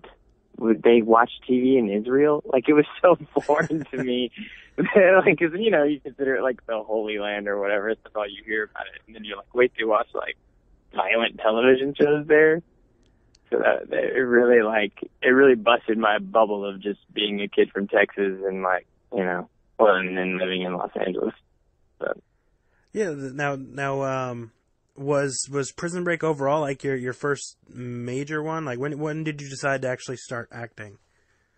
No, um, so I had uh, I had other plans to be a professional soccer player. That was like my dream since when I was a young kid and um, got injured my junior year in high school. Right before you know we were doing all the recruiting and had colleges I was talking with and um, blew out my knee. And then um, and then when I came back from that it it got injured again. And so I was looking for alternatives, and someone kind of um on a whim just sort of was like, "Hey, you should go to this talent search thing," and I was kind of blew him off, and and I went anyways, and uh and I got this amazing response, and then they were like, yeah, pay us 500 bucks and we'll introduce you to agents and managers. And I was like, see, knew it was a scam. They're just trying to take my money. And then once I knew that I wasn't going to be a soccer player, like a year later, they sent me like a half off coupon to go to the same meet agents and managers. I was like, ah, you know what? 250 bucks. Okay. That's not as bad of a scam. And so I went and that's when I found my first manager there and graduated high school, moved out to LA to be an actor. Never an actor before. And then, um, so it was like kind of a progression of just like getting into classes and doing well in my classes and getting recommended for agents and then agents submitting you and then I booked commercials and music videos and then uh, I wound up getting my first theatrical agent and I booked like uh, like a rash of co-stars like back to back to back.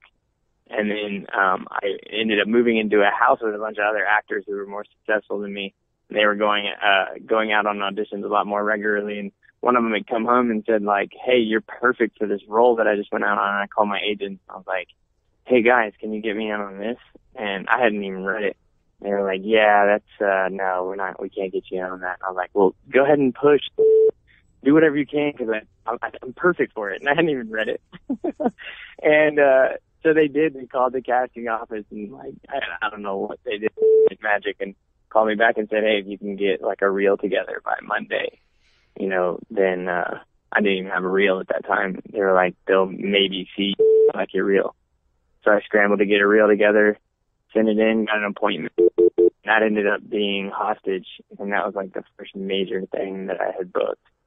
Um, that I did. And that was like um, I don't know if you know what hostage is. Oh But, yeah, uh, yeah. That was uh, that was a fantastic movie. I Actually, I didn't see it when it came out in the theaters. I think that was 2005. I was just Yeah. under 17 at that point, and I didn't sneak into a theater to see it. But I saw it a couple years later, and uh, actually in college uh, when I was doing filmography, and uh, they they showed that that movie, and yeah, that, that movie's pretty intense.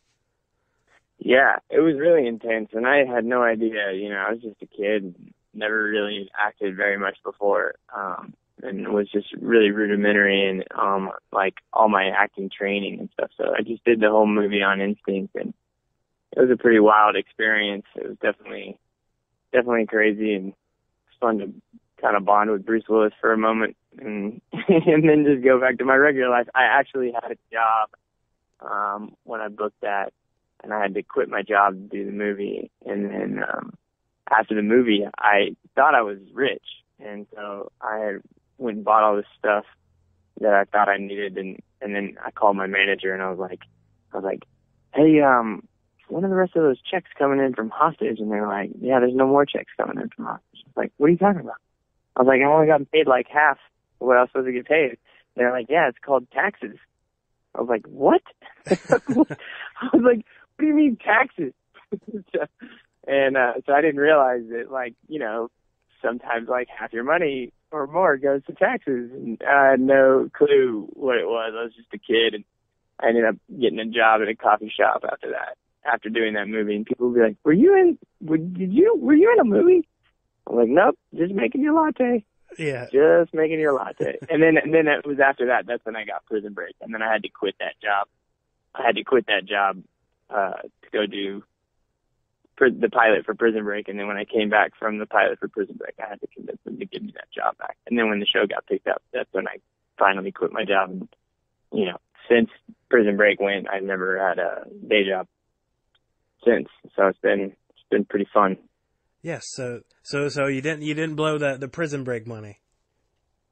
no, no, no, I didn't. Well, actually, the first season of Prison Break paid for my wedding, and that was pretty expensive. So, um, you and know, then you did, I believe, uh, was that three seasons? I know they had four, but were you in the the, I was the quote unquote final? in. Yeah, I was in. I was in. I was in the first episode, I think, of the fourth season. I don't know. There was a point where they kind of like just stopped, like writing for my character, I guess, and you know, I was just it was it was a little disappointing because it was like I had in my heart, like I loved I loved LJ and I loved the storyline and just sort of felt like they maybe they ran out of ideas. I have no idea. I actually haven't even talked to to a lot of those guys since the show. So it's, it was kind of like a it's an unrequited question mark on my head. I'm like, now with this new one, I'm like, what are they gonna do? With like, is LJ just gonna disappear? Because I'm not in the new one, so it'll be interesting to see like what they do with the character and kind of where it goes, you know. But I was, I'm so grateful to have been a part of the show when I was. It was, it was an awesome experience. Oh yeah, yeah. We've had uh, I've had Sarah on before. Ah, Um, Sarah's awesome. Yeah, and, and uh, yeah, no, she she's coming back for it too. But yeah, it was kind of weird because in I believe I'm trying to remember in the third season. I know it was kind of you and, and her were were kidnapped, and uh, Yeah. so that so you didn't see much of y'all for most of that season, and then I know. I just kept getting kidnapped. Yeah, like, guys. you were you were like the original Taken before the the, the movies came out. yeah, it was like, guys, I'm like, at some point I got to get smarter about getting kidnapped. Like, clearly there's a there's a target on on LJ's head here, yeah, yeah, yeah. and I got really good at like you know the duct tape and you know the whole bit. Yeah, yeah, you you became maybe maybe like at s- at some point your characters just decided he liked to be like kidnapped. Maybe that was like Yeah, like Stockholm yeah, maybe like LJ's way into like S and M somewhere in like New York in a basement. And that's what he's up to. I always imagine they just thought he went off to college, and they're just like, yeah, he's in college, you know. Yeah, he- and we send him Adderall every month, you know. he he just he just lives a normal life now. Yeah, totally. He he manages a Target in Missouri. Yeah, it's um yeah, and I believe I'm trying to to get the the dates right. I know uh, you went from it. It seemed like at least uh, from from when I watched it, uh, you went from Prison Break to True Blood, which was another very huge show. Yeah, that was awesome. It was really fun to go to that show when I did because it was so popular. And I went on the third season and the fourth season, and it was just like ridiculously popular. It was really interesting going from Hostage, which was a huge movie that not a lot of people saw in the theaters, and then going from Prison Break, which in LA, like uh, Prison Break has a good, you know, reputation only because like everyone in the industry's cousin somewhere in the Midwest is it's their favorite show. So like people will be like, "Oh yeah, Prison Break. Yeah, my my sister tells me that's great." You know, or it's like, "Oh, that's my uncle's favorite show." You know, so like but no one had seen it really in LA and then when I got on True Blood, everyone in LA watched True Blood. And so it was just a it was just really interesting to see the town kind of react differently to your work you know, when you feel like you've been doing the same thing for a long time and you see people, you know, what people choose to watch in what regions and where where it's popular and it's so interesting. Um, and so it was really, really fun for me. Just like, it felt like almost like theater or something like, because people were so participative and so many people watched True Blood. It was, it was awesome. I mean, like, it was on like the cover of the Rolling Stone. It was really fun. Really, really fun while that lasted. Yeah, that was.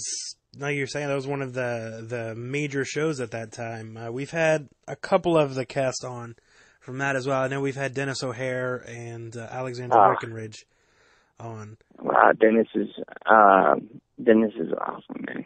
What a talent. Great yeah, guy. Yeah, super sweet guy for sure.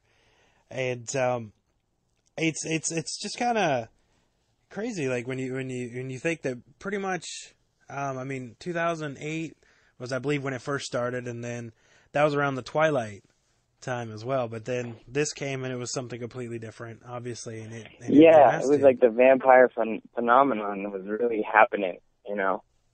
Yeah, um, and now they it really seems like benefited off of the vampire runoff from Twilight, you know. Yeah, uh, yeah, it's like the uh, the Fifty Shades of Grey version of uh, uh, of Twilight. And yeah, then, um, totally, totally. yeah, now it seems like uh, zombies are taking over, and, and I know we we have a lot of the people from The Walking Dead on here, and, and you're actually on a, a show on AMC right now called Humans, correct? Yeah, yeah, I just did the second season of Humans. So I'm interested in seeing. Would you be willing to uh, do anything on The Walking Dead? Is that a show that you follow, or Oh yeah, I would love to. I think I think I've only there's only been one role that I got to audition for on The Walking Dead. Like there's only one role that ever came up that I was like right for because you know I know the casting directors and everybody. So, um, and then a buddy of mine got it. Uh, and he's so talented. So it was like, okay, cool. And then um, just auditioned for Fear the Walking Dead, um, but I don't, I don't think I'm gonna end up getting it. But you know, surprise to all your your your listeners are savvy. Like they know how the audition process works and all that stuff. So Oh yeah. audition a ton. You know, I forget a lot of things I auditioned for, but yeah, but oh, I would love to be a part of The Walking Dead. I've only, as a viewer, I've only made it to like the second season, and then I haven't, I haven't uh, finished watching, finished watching the show. Oh, Um, it, it'd be a but- it'd be a chore to catch up now for sure. I know that's what happens. You fall too far behind. You're like, oh, that's on my list, and then you're just like, oh, I don't even know when I'm gonna have, you know, the time. You know, so.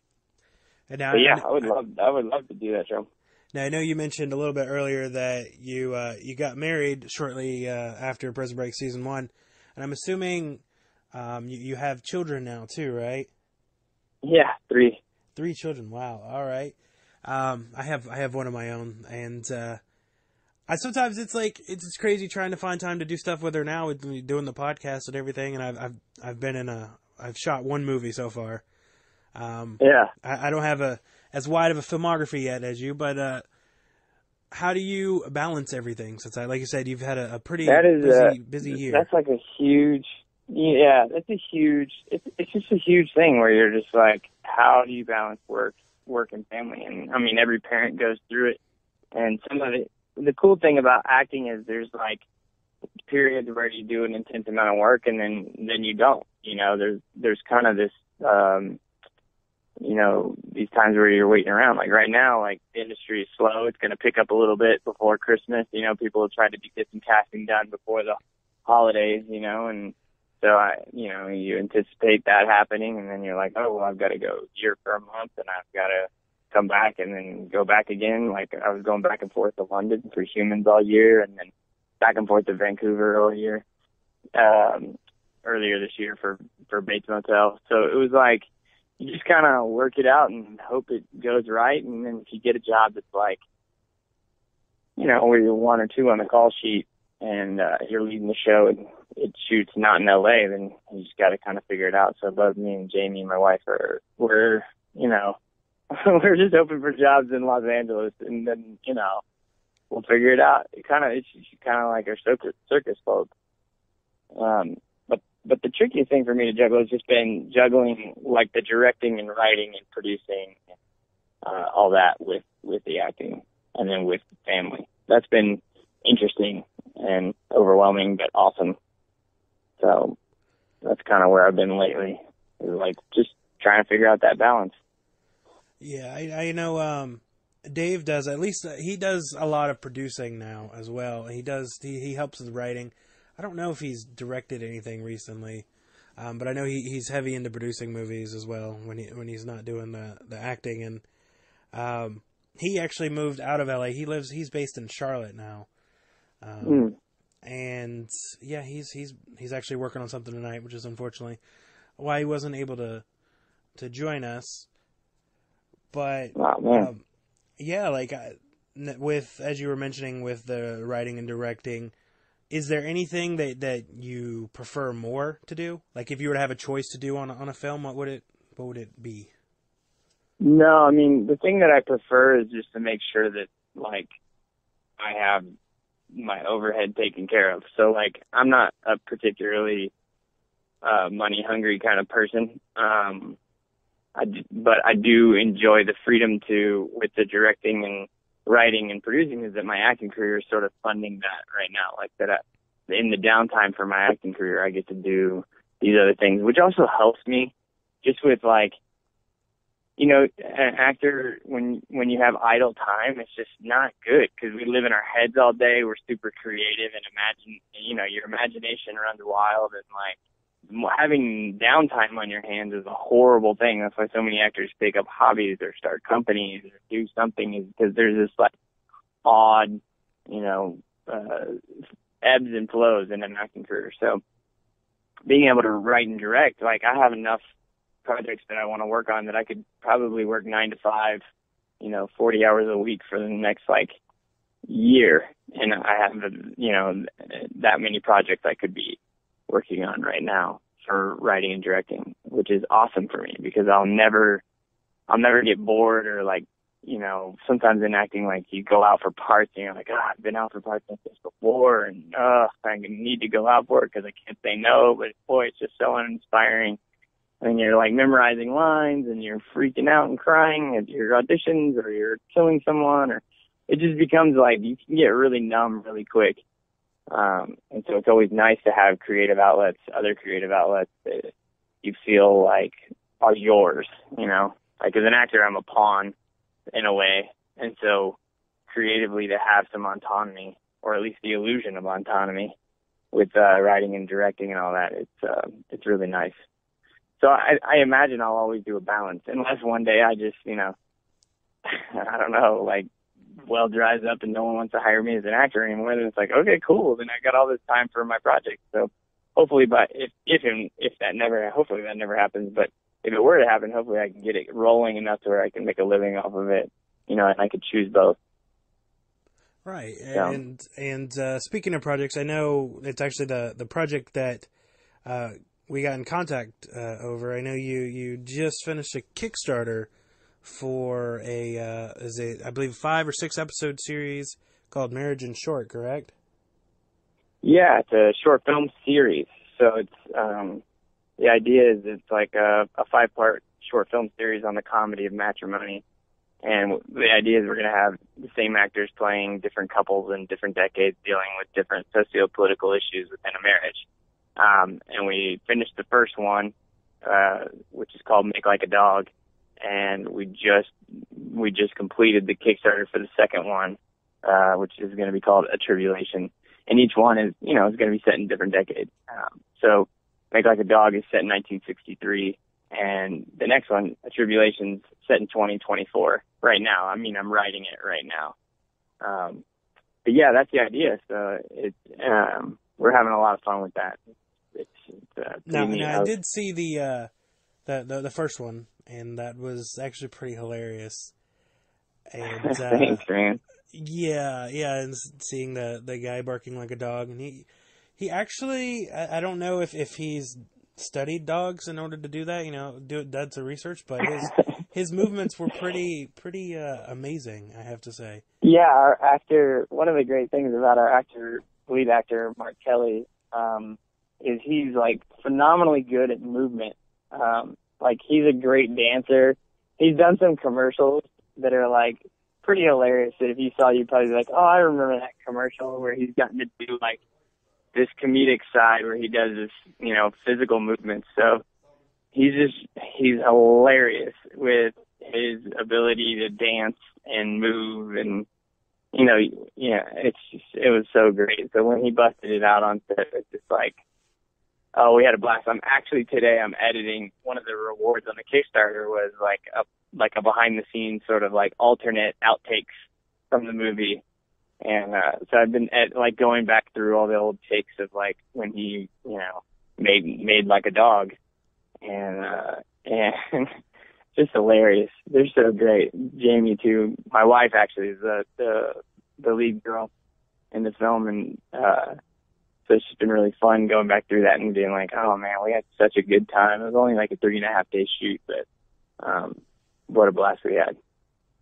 Oh yeah, yeah, and and uh, the set design and everything was spot on too. Yeah, got to give a shout out to Robbie Daly. He was amazing. Um, we spent, I think, God, I want to say like at least at least six months together just surfing eBay looking for props and stuff. At least, and then one of them was like really really hard. We had to find a crib, like a 1950s or 60s crib. But finally found one on eBay in New York. They're really hard to find because people just get rid of them because they're hazards.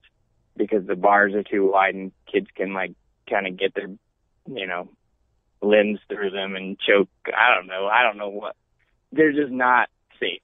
and uh, and um, so they're really hard to find. We finally found one like in New York, and we and they didn't really offer any expedited shipping because it's eBay, and so we had to ship it when they could ship it, and it arrived not the first day of the shoot, but like the second, the morning of the second day, like 30 minutes or like 45 minutes before we needed it that day or something. It was just ridiculous.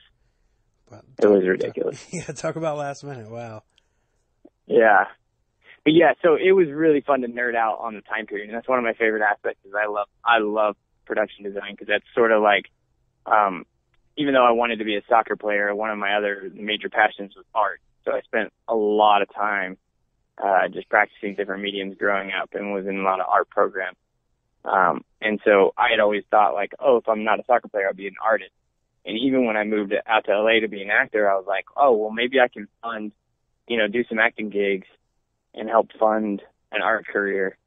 And got so busy with acting that I ended up putting my art on hold, which my grandmother, who was an artist, she was always really disappointed about that. She had only wanted me to do two things in life, which was continue my art and, and go on, on the Price is Right. Um, and so at least I kind of fulfilled one of those.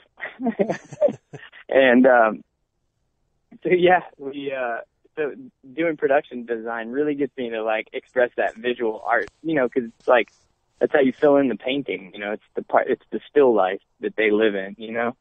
yeah. So it's, it's really, it's really akin to painting or, or, uh, you know, art in general. It's, it's really fun. I can only imagine how the uh, I believe you said it was 2025 how that's going to uh, to be. Oh, yeah. I, I wish I could tell you we don't have the, the things that I have like in store that aren't locked down yet are so exciting to me. So I've been, it's, it's about a doomsday prepper couple. So I've been researching like all different types of views about doomsday and what goes into preparing for the doomsday. And, uh, man, I just, I've been spending almost a year doing the research on it and it's just I love it. I love I love diving in and figuring out time periods and all that stuff. So it's, it's really cool. And now on the on the Kickstarter, I know on the actual page itself you can view the first episode. Um, is there any other outlets that they, that anybody listening can check those out on, or just just go to your Yeah, I mean our main hub is marriageinshort.com. Um and uh so that's that's the main place where you can go and see everything that's there. Uh the Kickstarter helps like uh you can just go to kickstarter.com and type in marriage in short or my name Marshall on on Kickstarter and uh you know that it'll come up and you can kind of see the whole vision that kind of lays out like why we're doing it you know. But um but yeah marriageinshort.com is the main place. I mean we we host the videos from vimeo uh and uh so i mean you could find it on vimeo. I'm about to upload it to youtube too. I'm like i'm just working on getting um subtitles done you know for for like i think i'm gonna do i think i'm gonna end up doing like eight different countries for subtitles. I think. It's kind of expensive actually. Um, but yeah, but we we went over on our Kickstarter, so that was one of the cool things. Was when we went over on the Kickstarter, I was like, all right, we get to pay for the subtitles for Make Like a Dog. Because I had so many people on online just like, oh, I wish I could watch it, you know, uh, but I'm French or you know or whatever. Yeah, yeah, you got that that worldwide appeal, and and I know how some websites also kind of kind of block content to like local zones, which makes it hard too. Totally. Yeah, like I was talking to subtitle people and they're like, yeah, Google and China don't really get along. and then they were like, and I was like, so is North Korea out of the picture? And they were like, yeah. I was like, dang it. I know. and uh, with, with this project, obviously you you've still got, I believe, there'll be three three more shorts after that. Um, Yeah. now, now, was this your first time kind of dealing with Kickstarter? Or had you, No. had you done any So? I had been a part of a movie that I was producing and starred in that actually was like one of the first films to really go viral uh, on Kickstarter.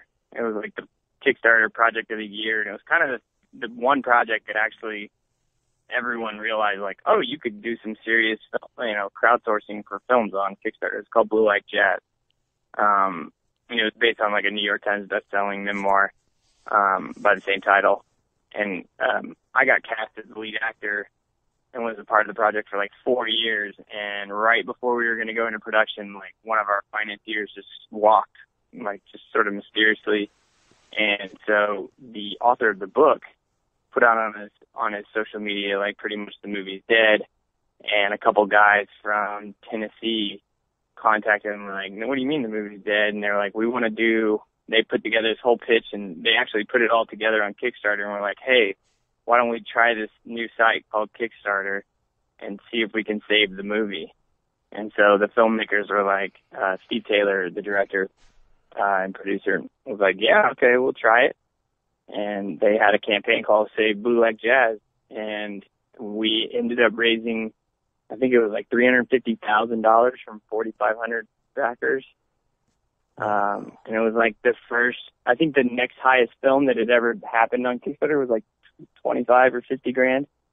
Um, but after that, I was like, everyone I knew was calling me like, "Hey, how do we do this?" And you know, I think we've we could have had a consultation business. I think some of the, the guys that did it actually ended up starting a company that helped people. You know, after that and but yeah, that was that was the the first time I had experience with Kickstarter. And then also Steve Taylor did a another Kickstarter for his music that was like I think is probably the best Kickstarter video I've ever seen.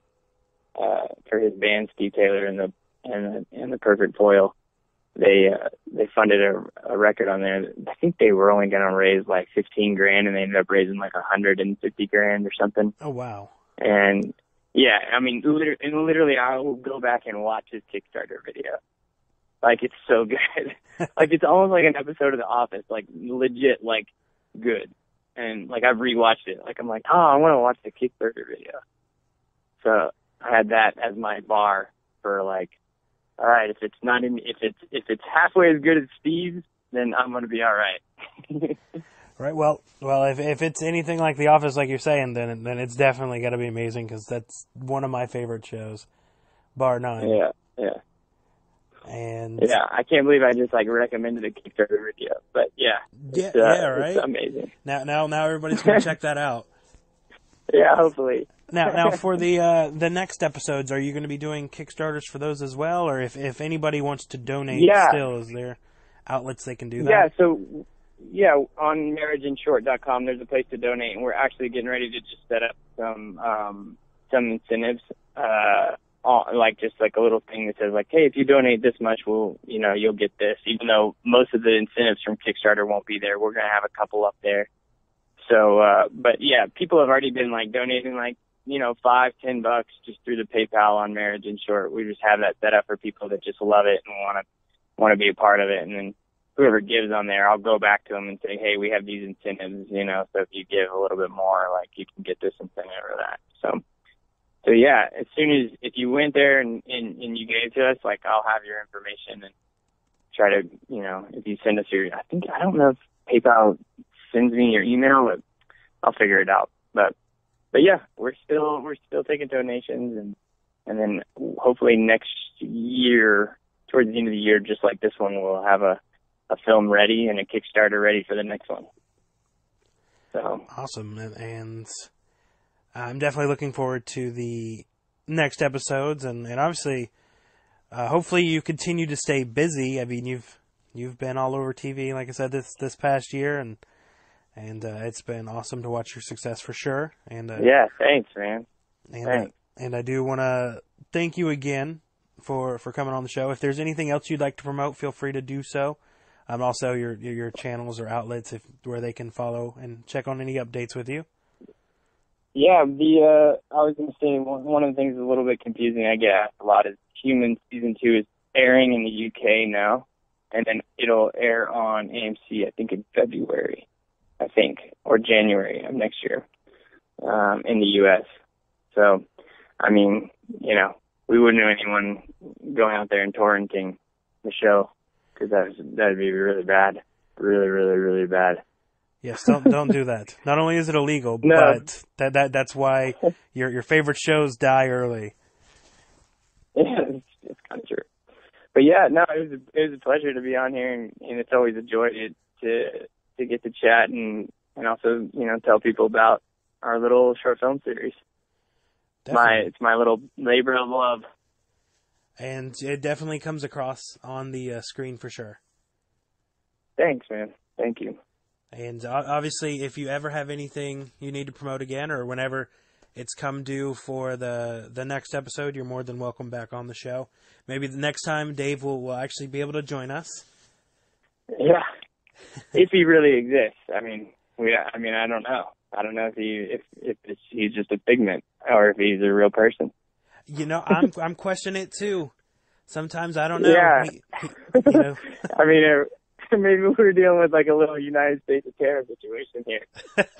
yeah, I'm I'm Dave and Creech, But- but- yeah. but unfortunately, I wasn't in Scary Movie, so oh, that's funny. That's funny. That would make for an interesting podcast. that would that would be. You know what? I should I should just do a podcast where I just talk to everybody, and I am everybody. Yeah, yeah. like Yeah. just do horrible impressions of of each person, and then just continue on and just act like you know I'm none the the wiser. Yeah, you're like uh, Eddie Murphy in Big Mama's house. All right, man. All right, dude. All right. And by the way, do you like being called CJ or just Creech, or what do you Um, prefer? Yeah, I mean, I, I don't mind CJ. Okay, usually, cool. usually, usually, Yeah. I just go by Creech on on the show because it sounds better Dave and Creech show than than Dave and CJ Yeah. show. Yeah, totally. That that one It would have to extra, be CJ and Dave. Yeah. yeah, the one Yeah, extra, one extra um, syllable. syllable just kind of messes everything up. Yeah, monosyllabic, baby. That's the way to go. Exactly. All right, dude. All right, man. Well, cool. All right, Creech. Well, I'll talk to you soon, man. Thanks All right, for, man. for thanks for everything. Well, that was super insightful. I'm a different person now after listening to that. Marshall, Marshall, Marshall. Yep. Um, well, hey, Creech. We're going to get James. James Frazier. Yeah. We're going to get him on the show soon. Uh, we're going to rap about um, the upcoming Walker Stalkers. I have a lot of questions for that man. I, I, I want to find out what the future has in store for the Walker Stalker conventions, you know? And um, we should kind of, you know, I don't know if you reached out to anybody uh, on, you know, in our podcast community about what are some places where they where they, our listeners, would like to see a Walker Stalker convention come that we could talk to him about. We he's could. the man to talk to about it, right? Oh yeah, yeah, yeah. He's the overseer of both uh, Heroes and Villains Fan Fest and Walker Stalker, uh, and he uh, not ju- we actually just won't be talking to him soon. We're going to be talking with uh, Tamara Duarte, uh, and she's in Netflix's Longmire, which will be Oh, nice. so we'll be talking to her soon as well. Well, that's good news. So, um, well, this was a great episode.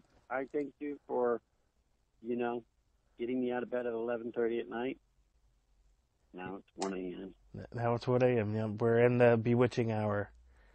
I know, and I've got work to do. I gotta get this letter of recommendation over to this dude that's trying to earn his general contractor's license. And Well- he, he has to mail the package out tomorrow morning. So I gotta go home and write this letter. Um, Yep, and I've got to, I've got to been podcasting for six hours now, and I got to I got to edit all this stuff together to to get it up. I cannot believe you're a workhorse, man. You are a, a monster when it comes to stuff. Well, hey, I wanted to thank everybody for listening. Episode 42 is in the can. This is Dave Sheridan, CJ Creech, the Dave and Creech Show. Episode 42 is now in the can. Thank you so much for listening. We hope you enjoyed it and tune back in for episode 43. We'll talk to you then. Shut up and sit down.